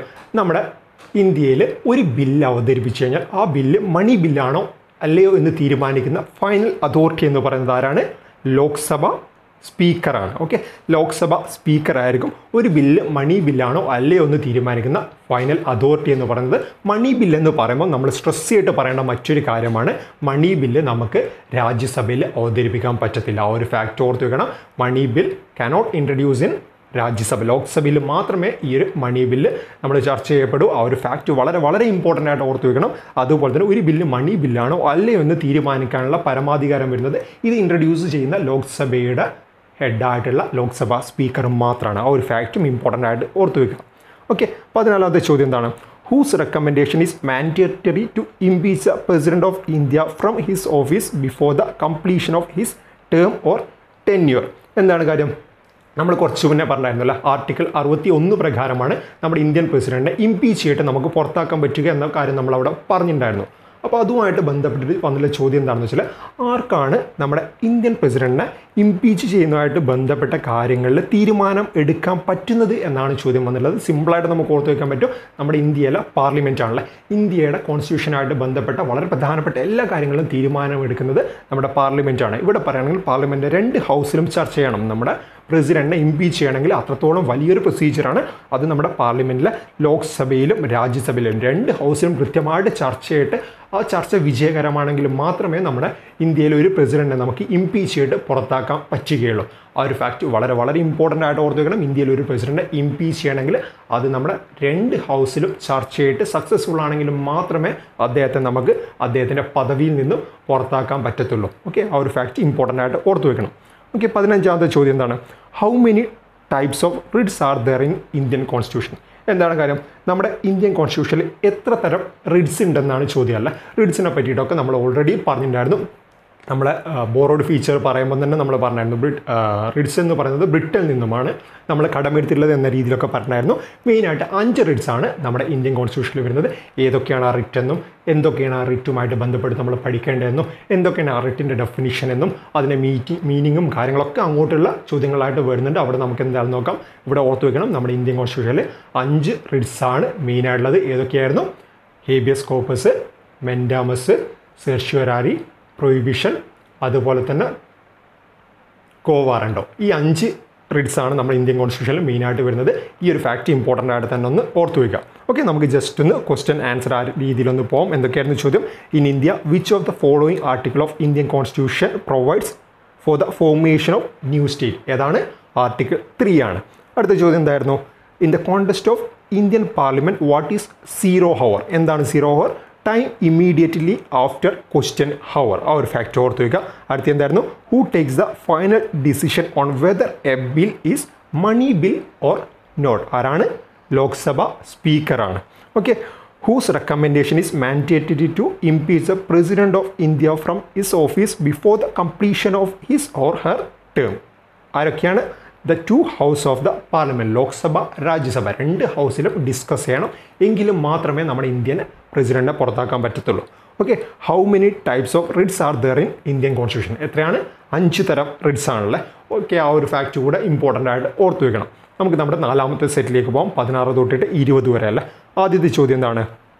Part four of Indian constitution deals with which of the following എന്തുമായിട്ടാണ് നമ്മുടെ ഇന്ത്യൻ കോൺസ്റ്റിറ്റ്യൂഷനിലെ പാർട്ട് ഫോർ ഡിസ്കസ് ചെയ്യുന്നതെന്നാണ് ചോദിച്ചിട്ടുള്ളത്. നമുക്ക് സിമ്പിളായിട്ട് അറിയാൻ പറ്റും. എന്താണ്? Directive principle of state policy ആണല്ലേ. നമ്മുടെ പാർട്ടുമായിട്ട് ബന്ധപ്പെട്ട ഓരോ പാർട്ട് പഠിക്കാൻ വേണ്ടി ഞാൻ പറഞ്ഞായിരുന്നു you can fly directly from അല്ല യു എന്ന് പറയുമ്പം യൂണിയൻ ടെറിട്ടറി സി എന്ന് പറയുമ്പോൾ സിറ്റിസൺഷിപ്പ് ഫ്ലൈ എന്ന് പറയുമ്പോൾ ഫണ്ടമെന്റൽ റൈറ്റ്സ് ഡി എന്ന് പറയുമ്പോൾ യു ഡയറക്ട്ലി എന്ന് പറയുമ്പോൾ എന്താണ്? ഫണ്ടമെന്റൽ സോറി ഡയറക്ട്ലി പ്രിൻസിപ്പിൾസ് അല്ല ഡയറക്ട്ലി പ്രിൻസിപ്പിൾസ് ഓഫ് സ്റ്റേറ്റ് പോളിസിയാണ് ഡി എന്ന് പറയുമ്പോൾ വരുന്നത്. അതായത് നാലാമത്തെ നമ്മുടെ part you can fly directly എന്ന് പറയുമ്പോൾ U union territory C citizenship F fundamental right directly D വരുന്ന എന്താണ്? Directive principles of state policy ആ ഒരു കാര്യം ഓർത്ത് വയ്ക്കുക നമ്മുടെ പാർട്ട് ഫോർ എന്ന് പറയുന്നത് ഡയറക്റ്റീവ് പ്രിൻസിപ്പിൾസ് ഓഫ് സ്റ്റേറ്റ് പോളിസിയാണ് ഒരുപാട് തവണ ഇതുമായിട്ട് ബന്ധപ്പെട്ട ചോദ്യങ്ങൾ വന്നിട്ടുണ്ട്. ഓക്കെ അടുത്ത ചോദ്യം എന്താണ്? How many fundamental duties are mentioned in Indian constitution എന്താണ് കാര്യം? നമ്മുടെ ഇന്ത്യൻ കോൺസ്റ്റിറ്റ്യൂഷനിൽ എത്ര ഫണ്ടമെന്റൽ ഡ്യൂട്ടീസ് ഉണ്ടെന്നാണ് ചോദ്യം. ഫണ്ടമെന്റൽ റൈറ്റ്സ് അല്ല ചോദ്യം കൃത്യമായിട്ട് വായിച്ചു നോക്കണം. സപ്പോസ് നമ്മുടെ ചോ ഓപ്ഷനിൽ ആറ് ഏഴ് പത്ത് പതിനൊന്ന് എന്നൊക്കെ ഉണ്ടെങ്കിൽ നമ്മൾ മിക്കവാറും തെറ്റിക്കാൻ സാധ്യതയുണ്ട്. ഫണ്ടമെന്റൽ ഡ്യൂട്ടീസും ഫണ്ടമെന്റൽ റൈറ്റ്സും രണ്ടും ഞാനൊന്ന് ക്ലിയർ ആയിട്ട് പറഞ്ഞുതരാം. അതായത് നമ്മുടെ ഫണ്ടമെന്റൽ റൈറ്റ് എന്ന് പറയുമ്പോൾ ഒറിജിനലി ഇന്ത്യൻ കോൺസ്റ്റിറ്റ്യൂഷൻ നമുക്ക് ഏഴ് ഫണ്ടമെന്റൽ റൈറ്റ്സ് ഉണ്ടായിരുന്നു. എന്നാൽ ആയിരത്തി തൊള്ളായിരത്തി എഴുപത്തി ഏഴിൽ നമ്മൾ കഴിഞ്ഞ സ്ലൈഡിൽ ഡിസ്കസ് ചെയ്യുന്നുണ്ടായിരുന്നു ആയിരത്തി തൊള്ളായിരത്തി എഴുപത്തി എട്ടിൽ റൈറ്റ് ടു പ്രോപ്പർട്ടി റിമൂവ് ചെയ്തതിന് ശേഷം നമുക്ക് ആറ് ഫണ്ടമെന്റൽ റൈറ്റ്സ് മാത്രമേ ഉള്ളൂ. എന്താണ് അവിടെ സംഭവിച്ചത്? ഉള്ള കാര്യം നമ്മൾ ഡിലീറ്റ് ആക്കി. എങ്കിൽ നമ്മുടെ ഫണ്ടമെന്റൽ ഡ്യൂട്ടീസിലേക്ക് വരുന്ന സമയത്ത് നമുക്ക് ഒറിജിനലി ഇന്ത്യൻ കോൺസ്റ്റിറ്റ്യൂഷനിൽ പത്ത് ഫണ്ടമെന്റൽ ഡ്യൂട്ടീസ് മാത്രമാണ് ഉണ്ടായിരുന്നത്. ഒറിജിനലി പത്ത് ഫണ്ടമെന്റൽ ഡ്യൂട്ടീസ് മാത്രമാണ് ഉണ്ടായിരുന്നത്. എന്നാൽ പിന്നീട് എഡ്യൂക്കേഷനുമായിട്ട് ബന്ധപ്പെട്ട ഒരു ഭേദഗതിയൊക്കെ വരുത്തിയിട്ട് നമ്മുടെ പതിനൊന്നാമത്തെ ഫണ്ടമെന്റൽ ഡ്യൂട്ടി കൂടെ ആഡ് ചെയ്തിട്ട് ടോട്ടൽ നമ്മുടെ ഇന്ത്യൻ കോൺസ്റ്റിറ്റ്യൂഷൻ നിലവിലെ സാഹചര്യത്തിൽ പതിനൊന്ന് ഫണ്ടമെന്റൽ ഡ്യൂട്ടീസ് ഉണ്ട്. അതുകൊണ്ട് ഓർത്ത് വെക്കണം നിലവിലെ സാഹചര്യത്തിൽ എത്ര ഫണ്ടമെന്റൽ ഡ്യൂട്ടീസ് നമ്മുടെ ഇന്ത്യൻ കോൺസ്റ്റിറ്റ്യൂഷനുണ്ട് പതിനൊന്നാണ് നമ്മുടെ ഉത്തരം വരുന്നത്. ഓക്കെ ഒറിജിനലി എന്നൊക്കെ പറഞ്ഞ് ചോദിക്കുകയാണെങ്കിൽ മാത്രമേ നമുക്ക് പത്ത് വരികയുള്ളൂ. അല്ലെങ്കിൽ നിലവിലെ സാഹചര്യത്തിൽ നമുക്ക് പതിനൊന്ന് ഫണ്ടമെന്റൽ ഡ്യൂട്ടീസ് ഉണ്ട്. ഇതൊക്കെയായിട്ട് ബന്ധപ്പെട്ട ഇനിയും ചോദ്യങ്ങൾ വരുന്നുണ്ട്. ആ സമയത്ത് കൂടുതൽ ഫാക്റ്റ് നമ്മൾ ഡിസ്കസ് ചെയ്യുന്നതായിരിക്കും. ഓക്കെ അടുത്ത ചോദ്യം എന്താണ്? What is the literal meaning of the term quo warranto എന്താണ് കാര്യം? കോ വാറണ്ട് എന്ന് പറയുന്നത് നമ്മുടെ ഇന്ത്യൻ കോൺസ്റ്റിറ്റ്യൂഷനിൽ ഒരു റിട്ടാണല്ലേ അഞ്ച് റിട്ടുകളിൽ ഞാൻ പറഞ്ഞായിരുന്നു കോ വാറണ്ട് എന്ന് പറയുന്ന റിറ്റ് കൂടെ പറഞ്ഞായിരുന്നല്ലോ അവിടെ. ഈ ഒരു കോ വാറന്റ് എന്ന് പറയുന്ന റിറ്റിന്റെ ലിറ്ററൽ മീനിങ് അല്ലെങ്കിൽ വേർഡ് മീനിങ് എന്താണെന്നാണ് ചോദ്യം. എന്തായിരുന്നു? കോ വാറന്റ് എന്ന് പറയുന്ന നമ്മുടെ റിറ്റിന്റെ word meaning by what authority എന്ത് അതോറിറ്റിയിലാണ് എന്ത് ബേസിലാണ് നിങ്ങൾ ഈ ഒരു പദവിയിൽ ഈ ഒരു പബ്ലിക് പദവിയിൽ വന്നിരിക്കുന്നത് എന്ന് കോടതി ഒരു പബ്ലിക് ഒഫീഷ്യലിനെ ചോദ്യം ചെയ്യുന്നതാണ് കോ വാറന്റ് അല്ല. അതൊക്കെ നമ്മൾ വളരെ വളരെ ഡീറ്റെയിൽ ആയിട്ട് തന്നെ ഇന്ത്യൻ പൊളിറ്റിയിൽ നമ്മുടെ റിറ്റ്സുമായിട്ട് ബന്ധപ്പെട്ട ആ ഒരു ക്ലാസ്സിൽ പറഞ്ഞിട്ടുണ്ട്. എന്തായാലും ഓർത്ത് വയ്ക്കുക. കോ വാറണ്ടോ എന്ന് പറയുന്നത് what is your by what authority അല്ലെങ്കിൽ വാട്ട് ഇസ് യുവർ അതോറിറ്റി ആ രീതിയിലാണ് കോ വാറണ്ടോയുടെ ലിറ്ററൽ മീനിങ് വരുന്നത്. എന്തായാലും ഓർത്ത് വയ്ക്കുക. ബൈ വാട്ട് അതോറിറ്റി എന്നാണ് കോ വാറണ്ടോ എന്ന് പറയുന്നത്. നമ്മുടെ ഇന്ത്യൻ കോൺസ്റ്റിറ്റ്യൂഷനിലെ അഞ്ച് റിട്ടുകളിൽ ഒരു റിട്ടിന്റെ ലിറ്ററൽ മീനിങ്ങും ഓക്കെ അടുത്ത ചോദ്യം എന്താണ്? In Indian constitution the method of election of president has been taken from which country എന്താണ് കാര്യം? നമ്മുടെ ഇന്ത്യൻ കോൺസ്റ്റിറ്റ്യൂഷനിൽ പ്രസിഡന്റ് എലക്ട് ചെയ്യപ്പെടുന്നില്ല എലക്ട് ചെയ്യുന്നതെന്ന് പറയുമ്പോൾ ഡയറക്റ്റ്ലി ജനങ്ങളല്ല ജനങ്ങൾ എലക്ട് ചെയ്യുള്ള മെമ്പേഴ്സാണ് അവർ നോമിനേറ്റ് ചെയ്തിട്ടാണ് പ്രസിഡന്റ് തിരഞ്ഞെടുക്കപ്പെടുന്നതല്ല അതുകൊണ്ട് തന്നെ ഈ പ്രസിഡന്റ് ഇലക്ഷനുമായിട്ട് ബന്ധപ്പെട്ട കൺസെപ്റ്റ് നമ്മൾ ബോറോ ചെയ്ത രാജ്യം ഏതാണ്? അയർലാൻഡിൽ നിന്നുമാണ് നമ്മുടെ പ്രസിഡന്റിനെ എലക്ട് ചെയ്യുന്നതുമായിട്ട് ബന്ധപ്പെട്ട കാര്യങ്ങൾ നമ്മൾ കടമെടുത്തിട്ടുള്ളത്. ഓക്കെ ഇതുമായിട്ട് ബന്ധപ്പെട്ട അയർലാൻഡിൽ നിന്നും എടുത്ത കാര്യങ്ങളൊക്കെ പഠിക്കാൻ വേണ്ടിയിട്ടുള്ള കോഡ് ഞാൻ നിങ്ങൾക്ക് ക്ലാസ്സിൽ പറഞ്ഞിട്ടുണ്ടായിരുന്നു. അതായത് അയർലാൻഡിലെ പ്രസിഡന്റ് ഡയറക്റ്റ് നമ്മൾ എലക്ട് ചെയ്യാൻ എലക്ട് ചെയ്തിട്ട് സോറി ഡയറക്റ്റ് നമ്മൾ രാജ്യസഭയിലേക്ക് നോമിനേറ്റ് ചെയ്യുന്നു എന്ന രീതിയിലൊക്കെ നമ്മൾ കോഡൊക്കെ വെച്ച് പറഞ്ഞായിരുന്നു. ആ കോഡൊക്കെ നിങ്ങൾക്ക് ഓർമ്മയുണ്ട്. സിമ്പിളായിട്ട് ഈ ആക്റ്റൊക്കെ നമുക്ക് കണക്ട് ചെയ്യാൻ പറ്റും. ഓക്കെ എന്തായാലും ഓർത്ത് വയ്ക്കുക നമ്മുടെ ഇന്ത്യൻ കോൺസ്റ്റിറ്റ്യൂഷനിൽ പ്രസിഡന്റ് ഇലക്ഷനുമായിട്ട് ബന്ധപ്പെട്ട കാര്യങ്ങൾ നമ്മൾ കടമെടുത്തിട്ടുള്ളത് അയർലാൻഡിന്റെ കോൺസ്റ്റിറ്റ്യൂഷനിൽ നിന്നുമാണ്. അടുത്ത ചോദ്യം എന്താണ്? Who administrate the oath of president of India എന്താണ് കാര്യം? നമ്മുടെ ഇന്ത്യയിൽ ഒരു പ്രസിഡന്റ് അപ്പോയിന്റ് ആയി കഴിഞ്ഞാൽ അല്ലെങ്കിൽ പ്രസിഡന്റിനെ തിരഞ്ഞെടുത്തു കഴിഞ്ഞാൽ അദ്ദേഹത്തിന്റെ സത്യവാചകം ചൊല്ലിക്കൊടുക്കുന്നത് ആര് എന്നാണ് ചോദ്യം. ആരാണ്? നമ്മുടെ സുപ്രീം കോടതി ചീഫ് ജസ്റ്റിസ് ആണ്. ചീഫ് ജസ്റ്റിസ് ഓഫ് ഇന്ത്യ ആയിരിക്കും പ്രസിഡന്റിന്റെ ഓത്ത് കൈകാര്യം ചെയ്യുന്നത്. നമുക്ക് എന്തായാലും അറിയാം. നമ്മുടെ ഇന്ത്യയിൽ ഹയസ്റ്റ് പൊസിഷൻ വരുന്ന രണ്ട് ആളുകളാണ്. ജുഡീഷ്യറിയുമായിട്ട് ബന്ധപ്പെട്ട ഹയസ്റ്റ് പൊസിഷൻ എന്ന് പറയുന്നത് സുപ്രീം കോടതി ചീഫ് ജസ്റ്റിസ് ആണല്ലേ അതുപോലെ തന്നെ മറ്റു രീതിയിൽ നമ്മുടെ ഇന്ത്യയുടെ ഫസ്റ്റ് സിറ്റിസൺ എന്ന് പറയുന്നത് ആരാണ്? പ്രസിഡന്റാണ് അതുകൊണ്ട് തന്നെ രണ്ടുപേരെ നോക്കുന്ന സമയത്ത് നമുക്ക് സ്വാഭാവികമായിട്ട് ഊഹിക്കാൻ പറ്റും പ്രസിഡന്റ് സത്യവാചകം ചൊല്ലിക്കൊടുക്കുന്നത് അത്രയും ഹയസ്റ്റ് അതോറിറ്റിയായുള്ള സുപ്രീം കോടതി ചീഫ് ജസ്റ്റിസ് ആയിരിക്കും. ആ ഒരു ഫാക്ട് ഇമ്പോർട്ടന്റ് ആയിട്ട് ഓർത്ത് വയ്ക്കുക നമുക്ക് ജസ്റ്റ് ഒന്നുകൂടെ ക്വസ്റ്റ്യൻ ആൻസറിലേക്ക് പോകാം പതിനാറാമത്തെ ചോദ്യം എന്തായിരുന്നു? Part four of constitution of India deals with which of the following എന്താണ്? നമ്മുടെ D P S P directive principles of state പോളിസിയാണ് part four എന്ന് പറയുന്നത്. ആ ഒരു കോഡ് ഞാൻ പറഞ്ഞില്ല you can fly directly from U S T U P meet ശ്യാമൻ Ram എന്ന് പറഞ്ഞ ആ ഒരു കോഡ് വെച്ചാൽ നമുക്ക് ഇരുപത്തി അഞ്ച് പാർട്ടും വളരെ വളരെ സിമ്പിളായിട്ട് തന്നെ ഓർത്ത് വെക്കാൻ പറ്റും. അത് ഓർമ്മയുള്ളവർ ആ ഒരു ക്ലാസ് കേട്ടിട്ടുള്ളവർക്ക് മറന്നുപോയിട്ടുണ്ടാവില്ല എന്നാണ് വിചാരിക്കുന്നത്. ജസ്റ്റ് നമ്മുടെ വിരലിലൊന്ന് നമ്പർ എണ്ണ എണ്ണിയാൻ നോക്കുന്ന ആ ഒരു ടൈം മാത്രമേ നമുക്ക് വേണ്ടൂ. സിമ്പിളായിട്ട് ഒരു മാർക്ക് നമുക്ക് കിട്ടും. ഓക്കെ പതിനേഴാമത്തെ ചോദ്യം എന്താണ്? How many fundamental duties are mention in Indian constitution Indian കോൺസ്റ്റിറ്റ്യൂഷനിൽ എത്ര ഫണ്ടമെന്റൽ ഡ്യൂട്ടീസ് ഉണ്ട്? പതിനൊന്ന് ഫണ്ടമെന്റൽ ഡ്യൂട്ടീസ് ഉണ്ട് അല്ലേ? ഓർത്ത് വയ്ക്കണം ഒറിജിനലി പത്തെണ്ണം ഉണ്ടായിരുന്നു. പിന്നീട് അത് പതിനൊന്നായിട്ട് മാറിയിട്ടുണ്ട്. ആ കാര്യങ്ങളൊക്കെ നമുക്ക് അങ്ങോട്ട് ചോദ്യങ്ങളായിട്ട് വരുന്നുണ്ട്. ആ ഒരു സമയത്ത് ഡിസ്കസ് ചെയ്യാം. അടുത്ത ചോദ്യം എന്തായിരുന്നു? What is the literal meaning of the term quo warranto എന്താണ്? ബൈ വാട്ട് അതോറിറ്റി എന്നാണ്. പത്തൊൻപതാമത്തെ ചോദ്യം എന്താണ്? In Indian constitution the method of election of president has been taken from which country ഏത് രാജ്യത്തിൽ നിന്നുമാണ്? അയർലാൻഡിൽ നിന്നുമാണ് പ്രസിഡന്റ് എലക്ഷൻ ഇന്ത്യയിലേക്ക് ഇന്ത്യയിലേക്ക് കടമെടുത്തിട്ടുള്ളത്. ഓക്കെ ഇരുപതാമത്തെ ചോദ്യം എന്തായിരുന്നു? Who administer the oath of president of India ആരാണ്? ചീഫ് ജസ്റ്റിസ് ഓഫ് ഇന്ത്യ ആണല്ലേ? ആ ഒരു ഫാക്റ്റ് കൂടെ ഇമ്പോർട്ടന്റ് ആയിട്ട് തന്നെ നമ്മളൊന്ന് ഓർത്തു വയ്ക്കണം അടുത്ത ചോദ്യത്തിലേക്ക് പോകുന്നതിന് മുമ്പ് ഞാൻ നിങ്ങൾക്ക് നമ്മുടെ വെബ്സൈറ്റ് ഒന്ന് പരിചയപ്പെടുത്തി തരാം. നമ്മുടെ വെബ്സൈറ്റിന്റെ പേര് അക്കാഡമീസ് ഓൺലൈൻ ഡോട്ട് കോം എന്നുള്ളതാണ്. അത് എടുത്തു കഴിഞ്ഞാൽ അതിന്റെ ഹോം പേജ് ആണ് നിങ്ങൾ ഈ കാണുന്നത്. Sign in to attend classes എന്നുണ്ട്. നിങ്ങളുടെ സൈൻ ഇൻ വിത്ത് ഗൂഗിൾ കൊടുക്കുക.